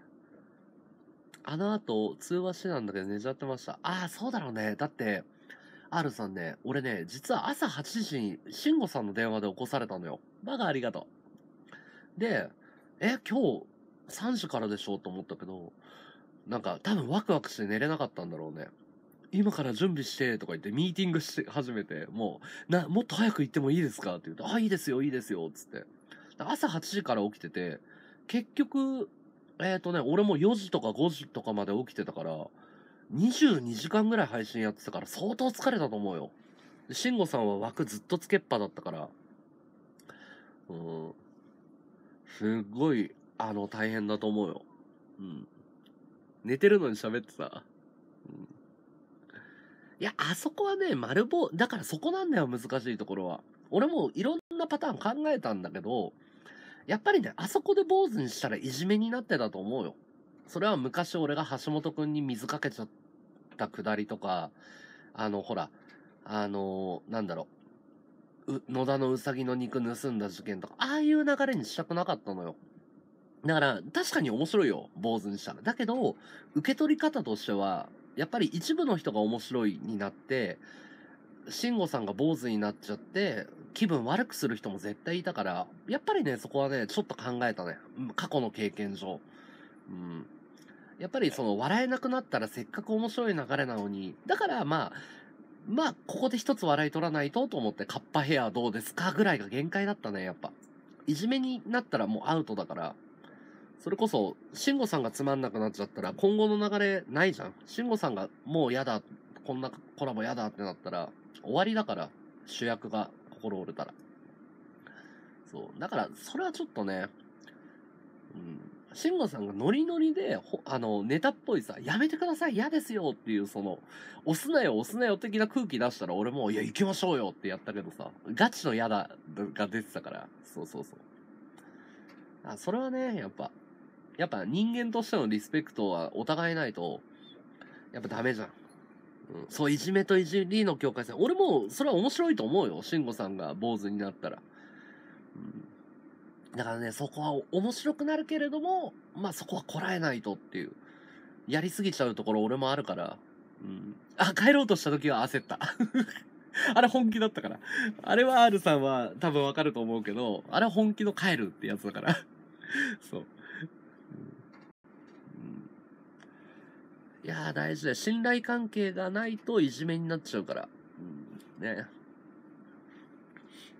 だって嫌でしょ？みんなも。なんか、は、ねちょっとした絡みしかない人に丸坊主にされたら。うん。で、帰ったらね、終わっちゃうからね。いや、本当だと思うよ。知ってるよ。知ってるよ。前回もそうだったもん。い慎吾さんは嫌なんだよ。俺と絡むの。それは毎回嫌なんだよ。でもリスナーが、いや、和道さんと絡もうよってやってくれんの。そろそろ見たいって言って。だからリスナーが手伝ってくれんの。いや、和道と絡んだ方が面白いから、いや、和道さんと絡んでみ、見ようよ。リスワンもあるし、みたいな、うまい言い方して入ってくれんの。フォロー入れる。そう。本当に嫌なんだよ、慎吾さんは。俺苦手なんだよ。うん。ねえみんなが楽しくないとね、やっぱね。相手もありがとね。みんなが楽しかったりするとさ、やっぱやりがいあるしさ。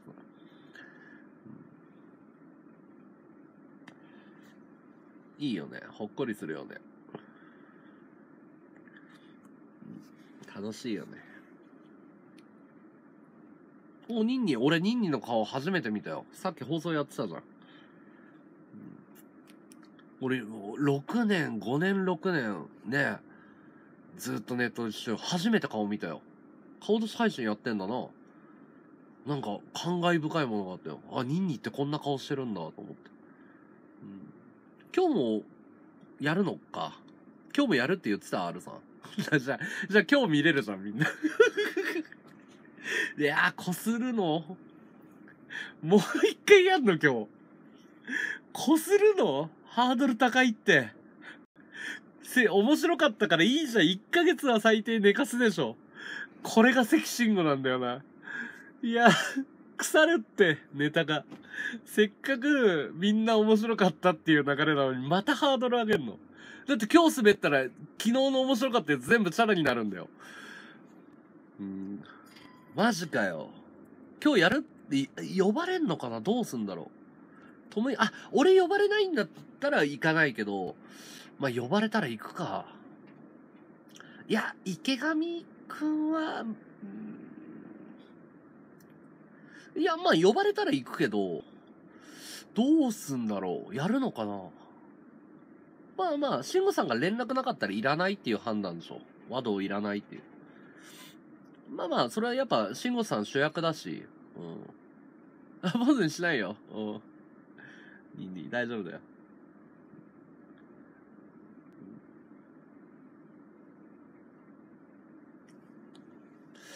池上さんと二人は事故るよな。まあまあ、行くよ、行くよ。誘われたら行くよ。うん。いやー、今日もやるんだ。こするんだ。すげえな。こするパティーンだ。すげえな。面白くならねえぞ、うまい棒食っても。うんどうなんだろうな。うん。ああ、まあまあまあまあ。あの、家近いんで、歩いて10分なんで。全然全然。僕はいつでも行ける距離なんで。すげえ、歩いて10分だもん。まあ、ねえ。行かないとね。R さんは配信をちょろっとやる感じ。だから、あの、どっぷり配信者ではないと思うよ。配信もやるっていう。で、コメントを書くっていう。な、プロリスに近いんじゃない？フォローありがとう。ふわっちフォローありがとう。ツイッターもフォローしてね。ツイッターもフォローしてください。YouTube もやってます。うん。はいはい。また来て、R さん。だったら、別の流れ組みたいから他の配信者誘った方がいいかもね、これ。多分3人だとグダルパティーンだと思うから、もし俺誘われたら他の配信者呼ぼう、1人。なんか、なんか、組み合わせ面白そうな人。その方が絶対いい。新しい風吹かせないとあのコンテンツせっかく面白い流れなのに腐るから誰かぶっねぶっ込んで助けに来てって言った方がいいよね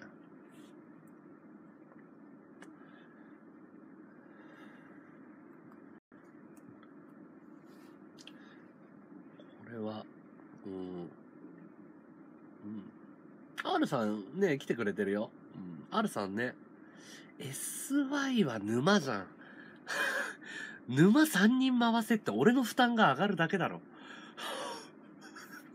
いや、そこは、あの、器用なち、なんか、両方できるタイプじゃないの。お俺の負担増やすタイプなの。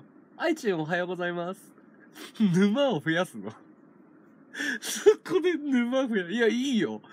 俺の、沼使い、沼使いの腕全力7人ぐらいの沼を使うとかやってもいいけど。俺、多分倒れるぞ。展開がわからなすぎる。沼増やすパターンか。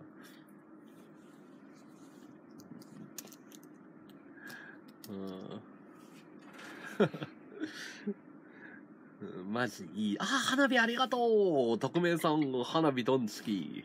ありがとうございます。花火ありがとう。うん、あ、ありがとう、ありがとう。たくさん無理しないでね、アイテム。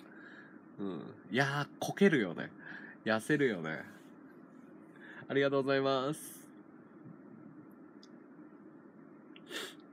パルパルとか意外な展開起こりそうだけどね。パル、パルとも絡んでないが、パルありかな。パルにちょっと力貸してよって言うかもしんないな。わかんないけど。パル、パル、パル、鮫島さんが来たら神回絶対起こるんだけど。なんか変な流れになるかなどうなんだろう鮫島さん先輩だかんな。なんかいろんな展開あるよね。俺モテないよ、すっくん。俺モテない、モテない。おっさんだもん。おっさんのハゲだもん。モテないよ、全然。いやー、俺が NG だな。うん。あの、俺は本当に NG だから、あの、最も嫌いな配信スタイルっていうか、人としてダメだと思ってるから、それはないかな。巻物来るたびパラパラとか一人で言ってたもんね。パラパラパラパラって一人で言ってたもん。巻物はパラパラしないんだよなそこがすごいよね。巻物ってパラパラしないから巻物なわけじゃん。なんでパラパラめくってんだこいつと思って。巻物はこうでしょ。どうしてパラパラっていう擬音がつくんだっていうのを突っ込みたくて突っ込みたくてしょうがなかったんだけど、こっちの方が面白いから、そのパラパラじゃねえよを言いたいんだけど、お前じ、こっちでボケてるのに、ボケ、小ボケを被せてんのがすげえ腹立ったんだよ。いや、俺は気づいてたんだよ。その小ボケなんだよって。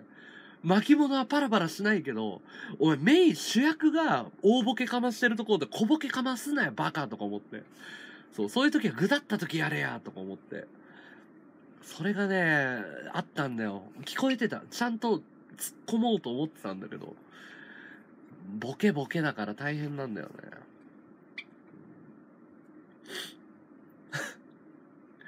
だ よ、パラパラってな。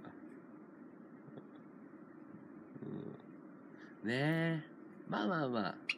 うん、行くよ、行くよ。うん。行く行く。行かないと逮捕されちゃうよ。さすがにもう。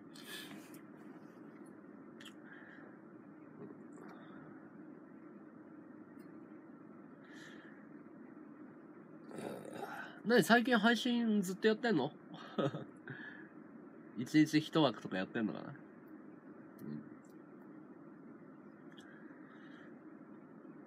?90 分か。腹減ってきたな。何食べようかな。ロードワークやろうかな。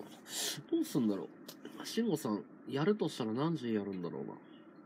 まだ昼だもんな。まだ起きてないか。ぐっすり寝てるかな。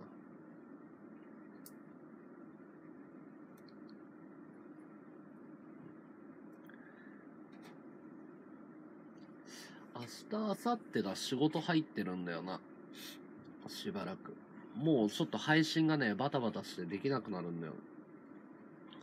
シルバーとね、あの、映像の制作で、仕事が何件か入ってるから、ちょっと月末配信、あれだね、M さんとのコラボまでちょっとバッタバタなんだよね。うん。ねえ、ネットでなんかサービス、クラウドでいっぱいできるよね。うん。あ、でも税理士さん、プロに任せるのが安心だよね。持ちは持ちやで。よ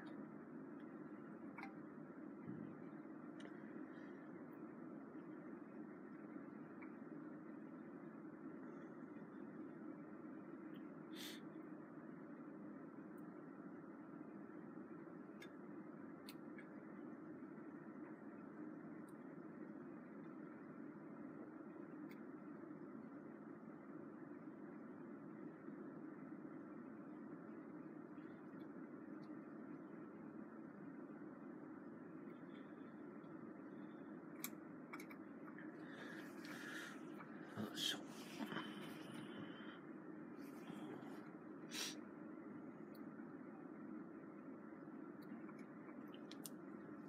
うん。ああ、食べてない。コンビニで二郎系のラーメンとか出てんだ。なんかね、セブンイレブンとかつけ麺とかは、まあまあ頑張ってるなと思うけどね。あんまり普通のラーメンも食べないし、食べてない。美味しいの？あ、あね、俺ラーメンあんま好きじゃないんだよね、実は。つけ麺は大好きなんだけど、あの、しょっぱい感じの。ラーメンあんま食べないんだよな。あの、好きなのは博多系は食べるけど、博多系のラーメン好きなんだよね。豚骨？博多豚骨っていうのかな？あの、細麺とか。セブンイレブン冷凍食品結構美味しいよね。チャーハンとか。冷凍系すげえ力入れてて。そうそうそう。だつけ麺が、つけ麺食べるようになってやっとラーメン好きになったんだよね。だからラーメン食べたいっていうのあんまりわかんないんだよな。別に嫌いじゃないけど、自分からラーメン食べ行こうっていうのあんまないね。あの、新宿にあるのが、辰野屋っていうラーメン屋があるのと、孔麺、辰野屋か孔麺しか行かないかな。あと一蘭か。あの、孔麺っていうのは魚介つけ麺なんだけど、まあ、ザ、つけ麺って感じなんだけど、辰野屋っていうとこのラーメンは、あの、もつ？もつの、もつにんにくラーメンなの？つけ麺なの？で、そば、そばを腰を強くしたような麺と、シコシコしてて、こう、平打ち？平打ちの縮れかな？で、腰が強い感じの、歯ごたえがある、こう、噛み応えがある麺で、で、もつ、焼いて焦がしたもつとニンニクのつけ麺なのよ。ねえ、達也美味しいよね？達也のつけ麺美味しいよね？新宿店の。で、食べるじゃん。そうすると、締めがありますから、締め、食べ終わったら声かけてくださいって言われて。で、食べ終わりましたって言うと、お粥を入れて、レンジで温めて、締めが出るの。そこはね、辰野屋はおすすめかな。辰野屋の新宿店。あの、オーガードっていうのがあるんだけど、オーガード下をちょっと行ったとこ、おたき橋通りを行ったところにあって、いっつも並んでる。いっつも行列ができてんの。そこだけ。で、辰野屋の、その新宿店だけしかないの。もつつけ麺ラーメンは。だから新宿来たらぜひ食べてもらいたいかな。た、食べたことないような味なんだけど、美味しいんだよ。あの、つけ麺ね。辰野屋のもつつけ麺。もつがカリカリに焦がしてあって、ニンニクの香ばしい香りと、コシのある麺。うん。辰野屋新宿店、もつつけ麺ラーメン。俺がね、よくツイッターにツイートしてるやつなんだけど、画像も俺のツイッターにあるよ。何回も言ってるから、多分下の方にあるかな。あ、俺、最近食ったっけな、辰野屋。辰野屋食いたいな行こうかな。辰野屋食いたい。辰野屋食いたくなって、この前行ったの孔麺か。辰野屋最近行ってないな。孔麺ばっかりな。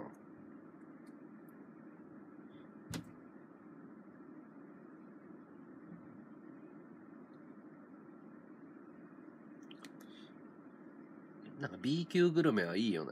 安くてうまいもんは正義だよね。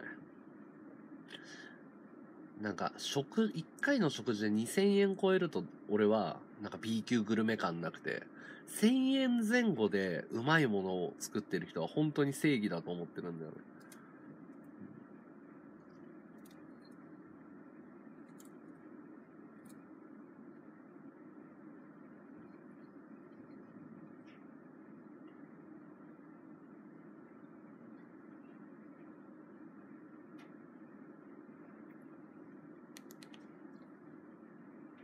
今日は月曜日か。今日月曜日か。いやー、時間があっという間に過ぎるなすごいスピード。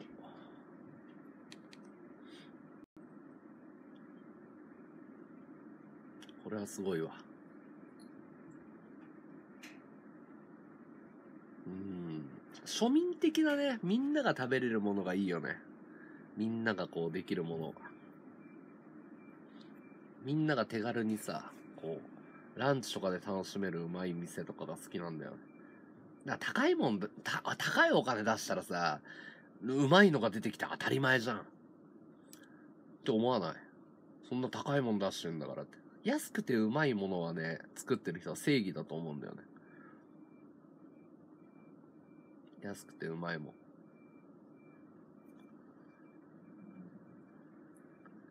正義だよ。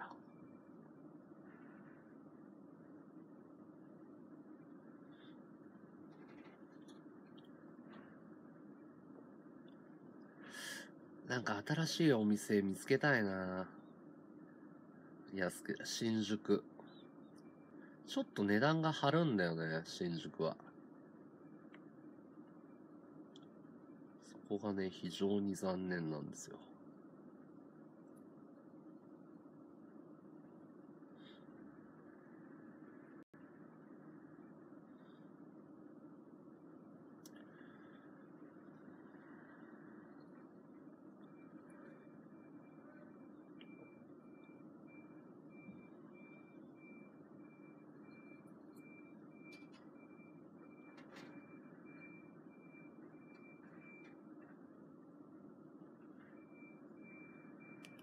あ、カメラ充電しとこう。カメラ。忘れてた。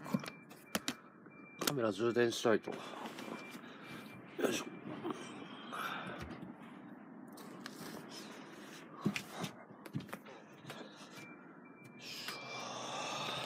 今日天気すげえいいな。あー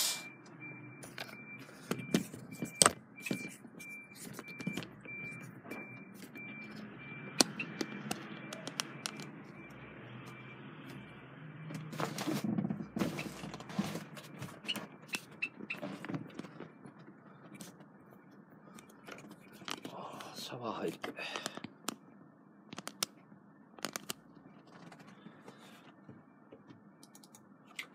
カメラの充電。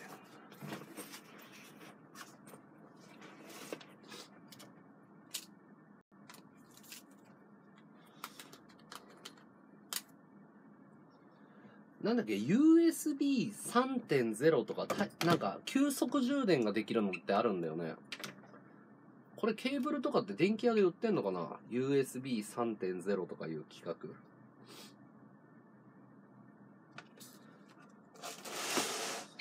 試してみたいんだよな。ガジェット全然詳しくないんだけど。荒牧みたいになってる。誰がハゲだよ。やめろ、お前。ビートたけしさんじゃん。荒牧部長。デコっぱけだから。あの、電撃ネットワークの南部さんみたいなね。うんお、エクスパンドおはよう。おはよう。おはよう。今日もよろしくね。起きたな。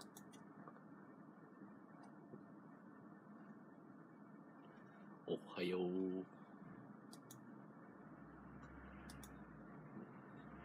お腹大丈夫？ただね、ここが張ってるね。リンパが張ってる。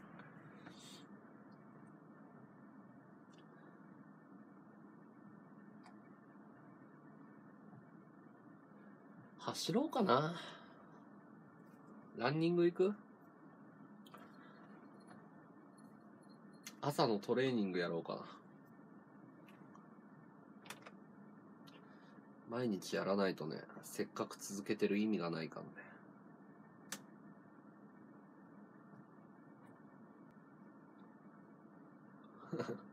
いや、食べ過ぎたね。食べ過ぎた。単純に。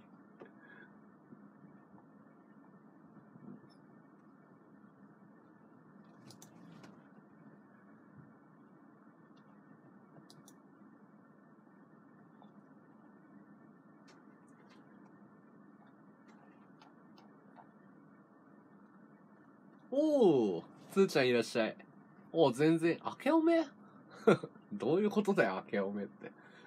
うん、寝れるまでラジオ酔っ払ってんだろ。お疲れ。うん、昨日、慎吾さんとコラボだったよ。つ。全然ラジオしていいよ。見方は自由だよ。USB、なんだっけ、タイプ C とかね。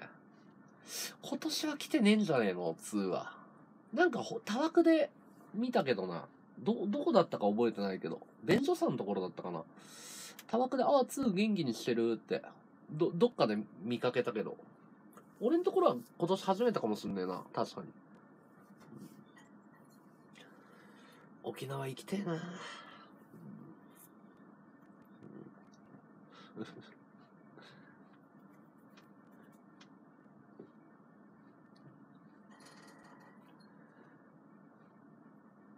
あ、そうだ。買い物もいろいろしないといけないんだ。髪の毛ブルーにするやつも買わねえとな。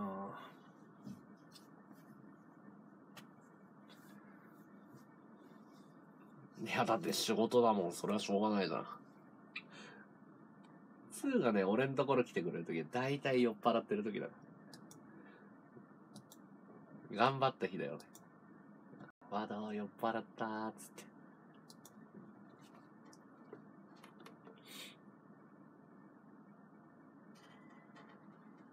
うん。俺もでももう風呂入ったりしようかなとか思ってるけどね。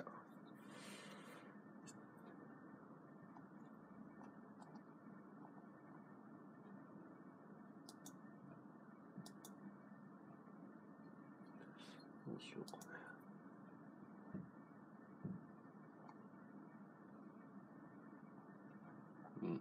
はいよ。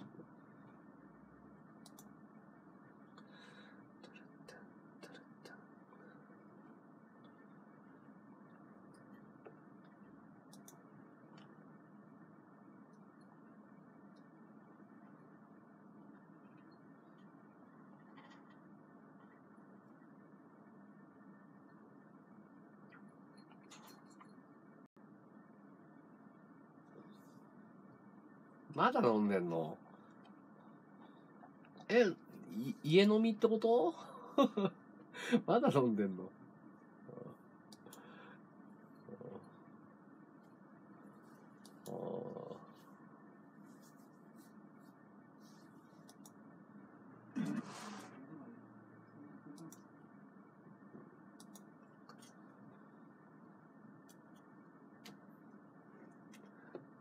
いいんじゃない？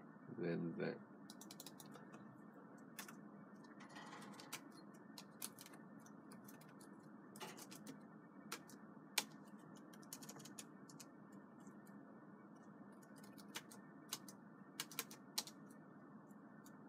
ああ、愛子さん、自分の家だよ、ここは。うん。今日もなんか企画やるかもって言ってた。うん。もしかしたら行くかもしんないね。愛子さん、朝早いね。今日何やんの愛子さんは？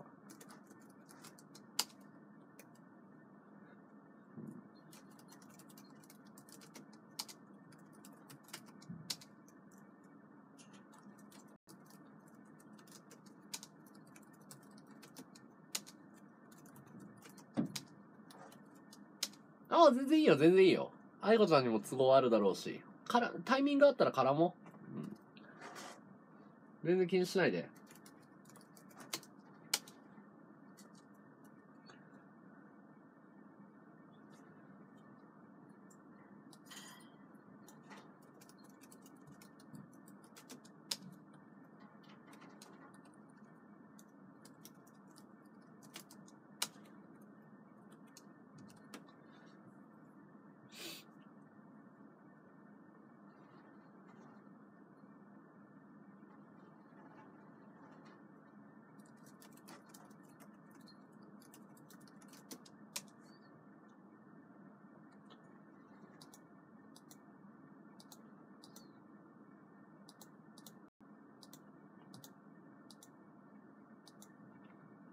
うまい棒ね、200本しか食べれなかった。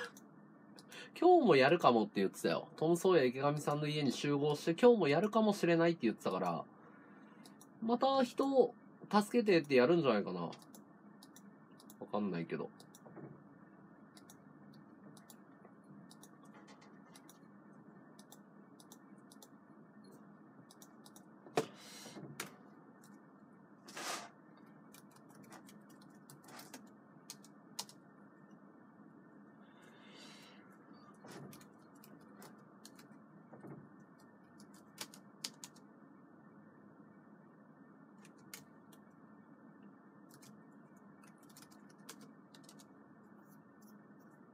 あ、本当にわかんないよ。あの、じゃあ、いつ集合とか聞いてないし、わかんないけど、あの、今日都内にスタンバってる感じ？てか、俺の家遊び来る？暇だったら。やるかどうかまだ確定ではないけど、あの、もしあれだったら繋ぐよ。愛子ちゃん来て、来てよ。ね。やるんだったらね。やるかどうかまだわかんないから、慎吾さんの企画だから。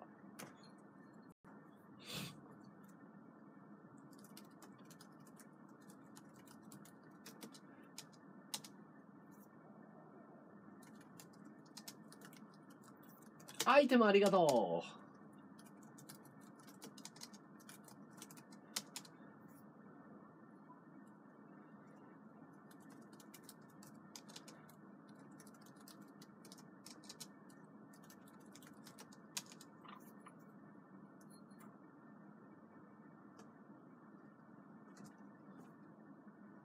いや、トレーニング走ってる。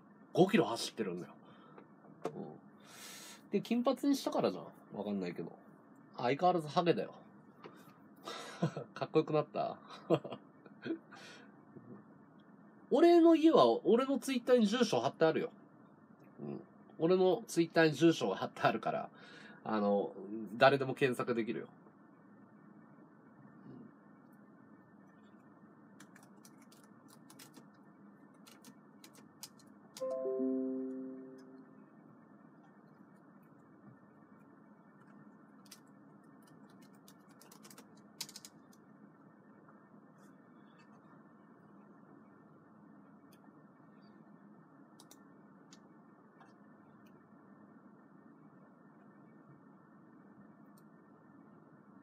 し俺、コラボするんだったら、あの、風呂入ったり、いろいろ準備したりするから、全然、全然、まあ、俺と絡んで、なんか、閲覧貢献できるかどうかわかんないけど、この家で別に時間潰してなんか新宿の流れ待機するんだったら全然いいよ。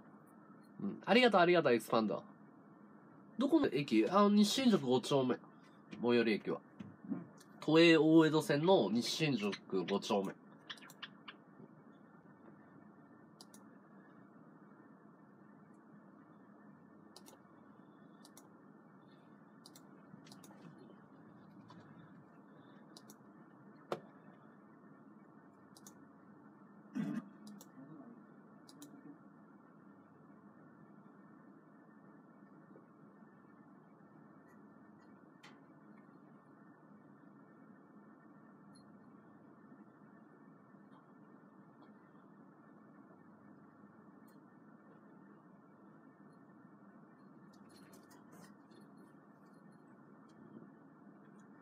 新宿からタクシー、え、いやー、まあ、新宿から歩いて20分だからタクシーで10分ぐらいかな。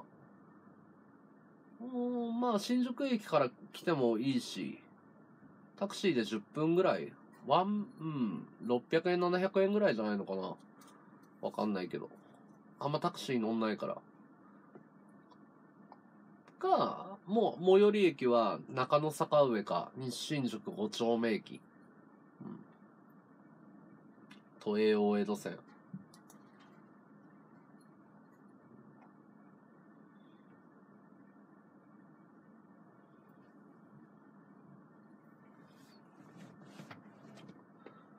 新宿3丁目から乗るか。あー。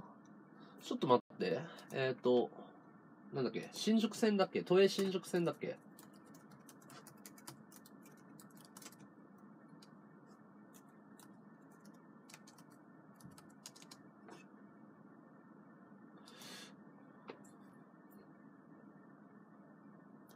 新宿三丁目か。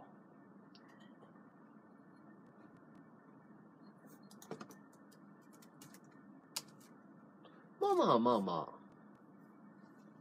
副都心でか。ちょっと待ってね。だったら、だったら、新宿三丁目から中野坂上に乗り換えた方が安いけどね。値段で言ったら。まあ、ほら、あれだけど、わかんないけど、タクシーの方が楽だっていうならあれだけど、あの、丸の内線に乗り換えて、中野坂上は最寄り駅だから、あの、都営新宿線で中野坂上に乗り換えて、中野坂上から歩いて5分ぐらいかな、この家まで。まあ、あの、もし来るんだったら、1時間ぐらい前とか家出るときに、あの、連絡くれれば準備はしておくよ。部屋片付けたりとかあるから。あの、ねやっぱり女性が来るわけだから。もし来るんだったら、あの、LINE に連絡ちょうだい。あの、今から行くよ、みたいな。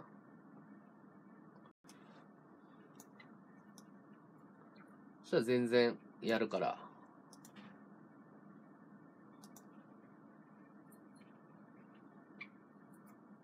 うん。そうだよ。だって池上さんの家歩いて10分だもん。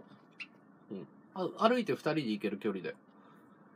うん。全然できる、全然できる。まあ、とりあえず俺の家で1、2時間なんか、だべって、なんか、喋って、暇になったら、まあ、新宿で夕方配信者がわちゃわちゃしてたらそっち行ったりとか、あの、もしね、慎吾さんがやるって言ったら、な、あの池上さんの家行くとか、何でも展開できる。どうとでも展開できる。近い近い。もし来るんだったら連絡ちょうだい。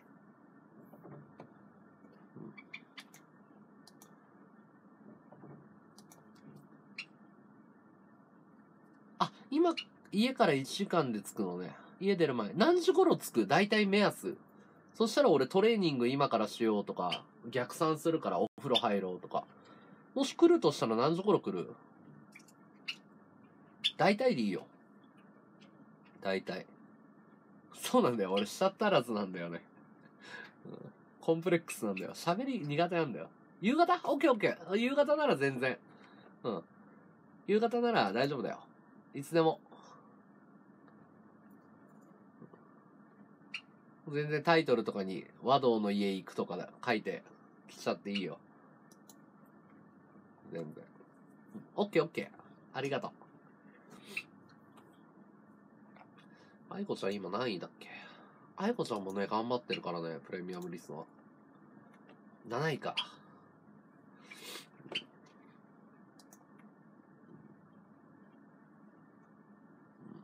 あ、いいよいいよ。来なくても。あの、配信者だから。あ、いいよ。じゃあ、後で。後でね、待ってるよ。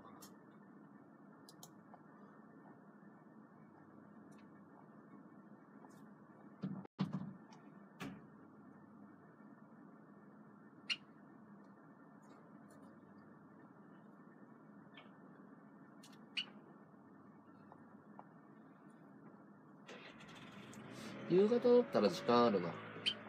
今日もなんか忙しく。7位で、まあ10位以内は入りたいよね、ここまで来たらね。うん。協力する協力する。10位以内に入ったらさ、7位は10万だっけ？まあまあ金は欲しいよね、せっかく頑張ってるわけだから。俺はもう全然狙ってないから。友達、仲間、仲間の人たちが取れたらいいやと思ってるから。7位はいくらだろう？ちょっと待ってね。7位は30万か。全然いいじゃん。全然いいじゃん。30万でかいよ。全然いいじゃん。ありありあり。うん、楽しもう、楽しもう。俺はもう全然県外だからさ。ね優しいね。来るときお気をつけて。ありがとう、ニンニン。いや、すごいよ、今回。大盤振る舞いだよ。大盤振る舞い。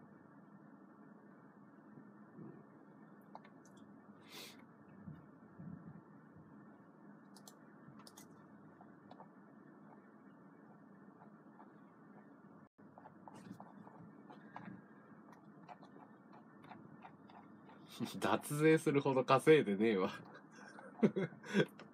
脱税するほど稼いでみてえわ。収入が元がなかったら脱税もできないんだからね悲しいだろ。稼いでないのが、あの、なんだ、こう、楽になってるっていう。これ稼いでる人確定申告めちゃくちゃ大変だからね。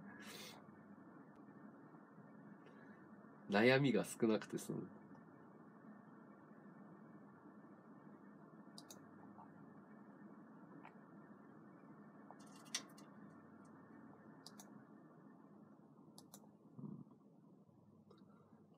100万は超えてるよ。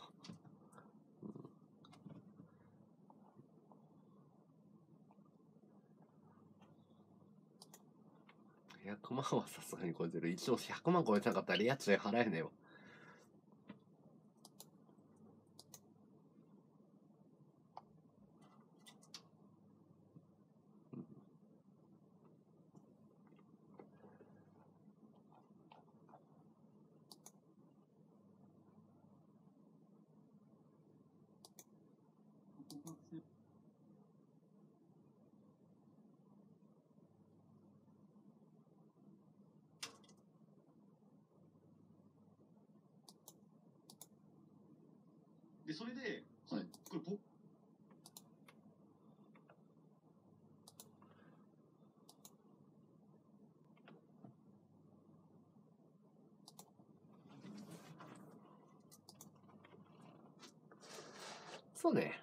気楽に行こうぜ。まったり行こうぜ。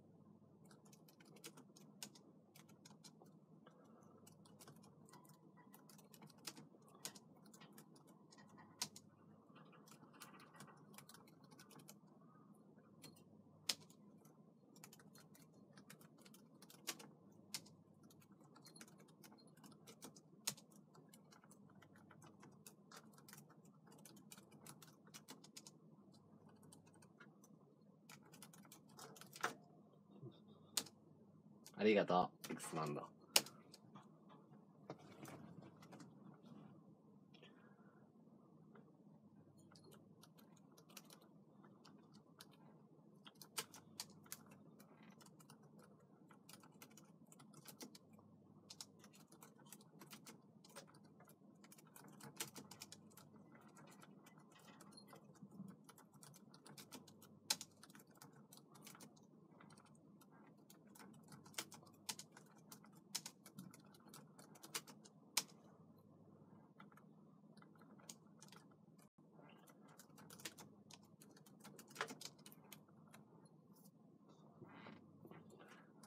そうね。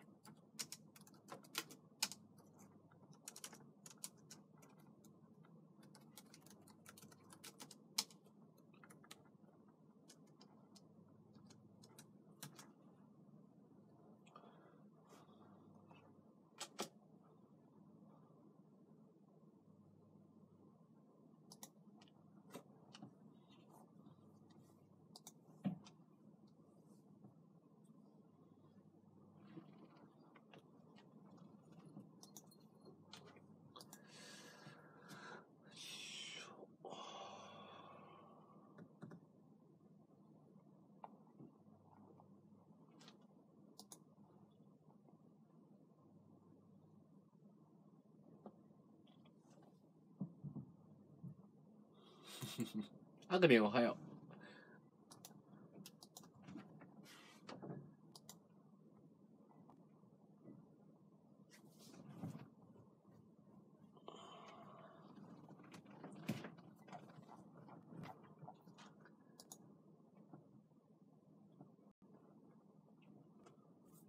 いや、なんかもっと自動的で分かりやすい仕組みに国がしてくれたらいいのになとは思うけどね。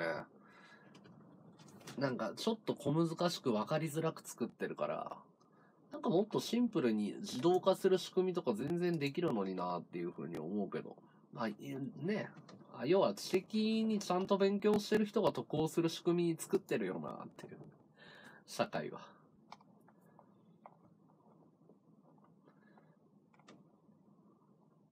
お腹すいたな。先に走るか。先に走ろうか。じゃあ一旦終わりにしますね。皆さんよろしくお、え？店やってた時確定申告。手伝ってた人名前なんだっけ？あの人元気な。店やってた時確定申告手伝ってた人誰だろう？覚えてねえなつ覚えてねえよ。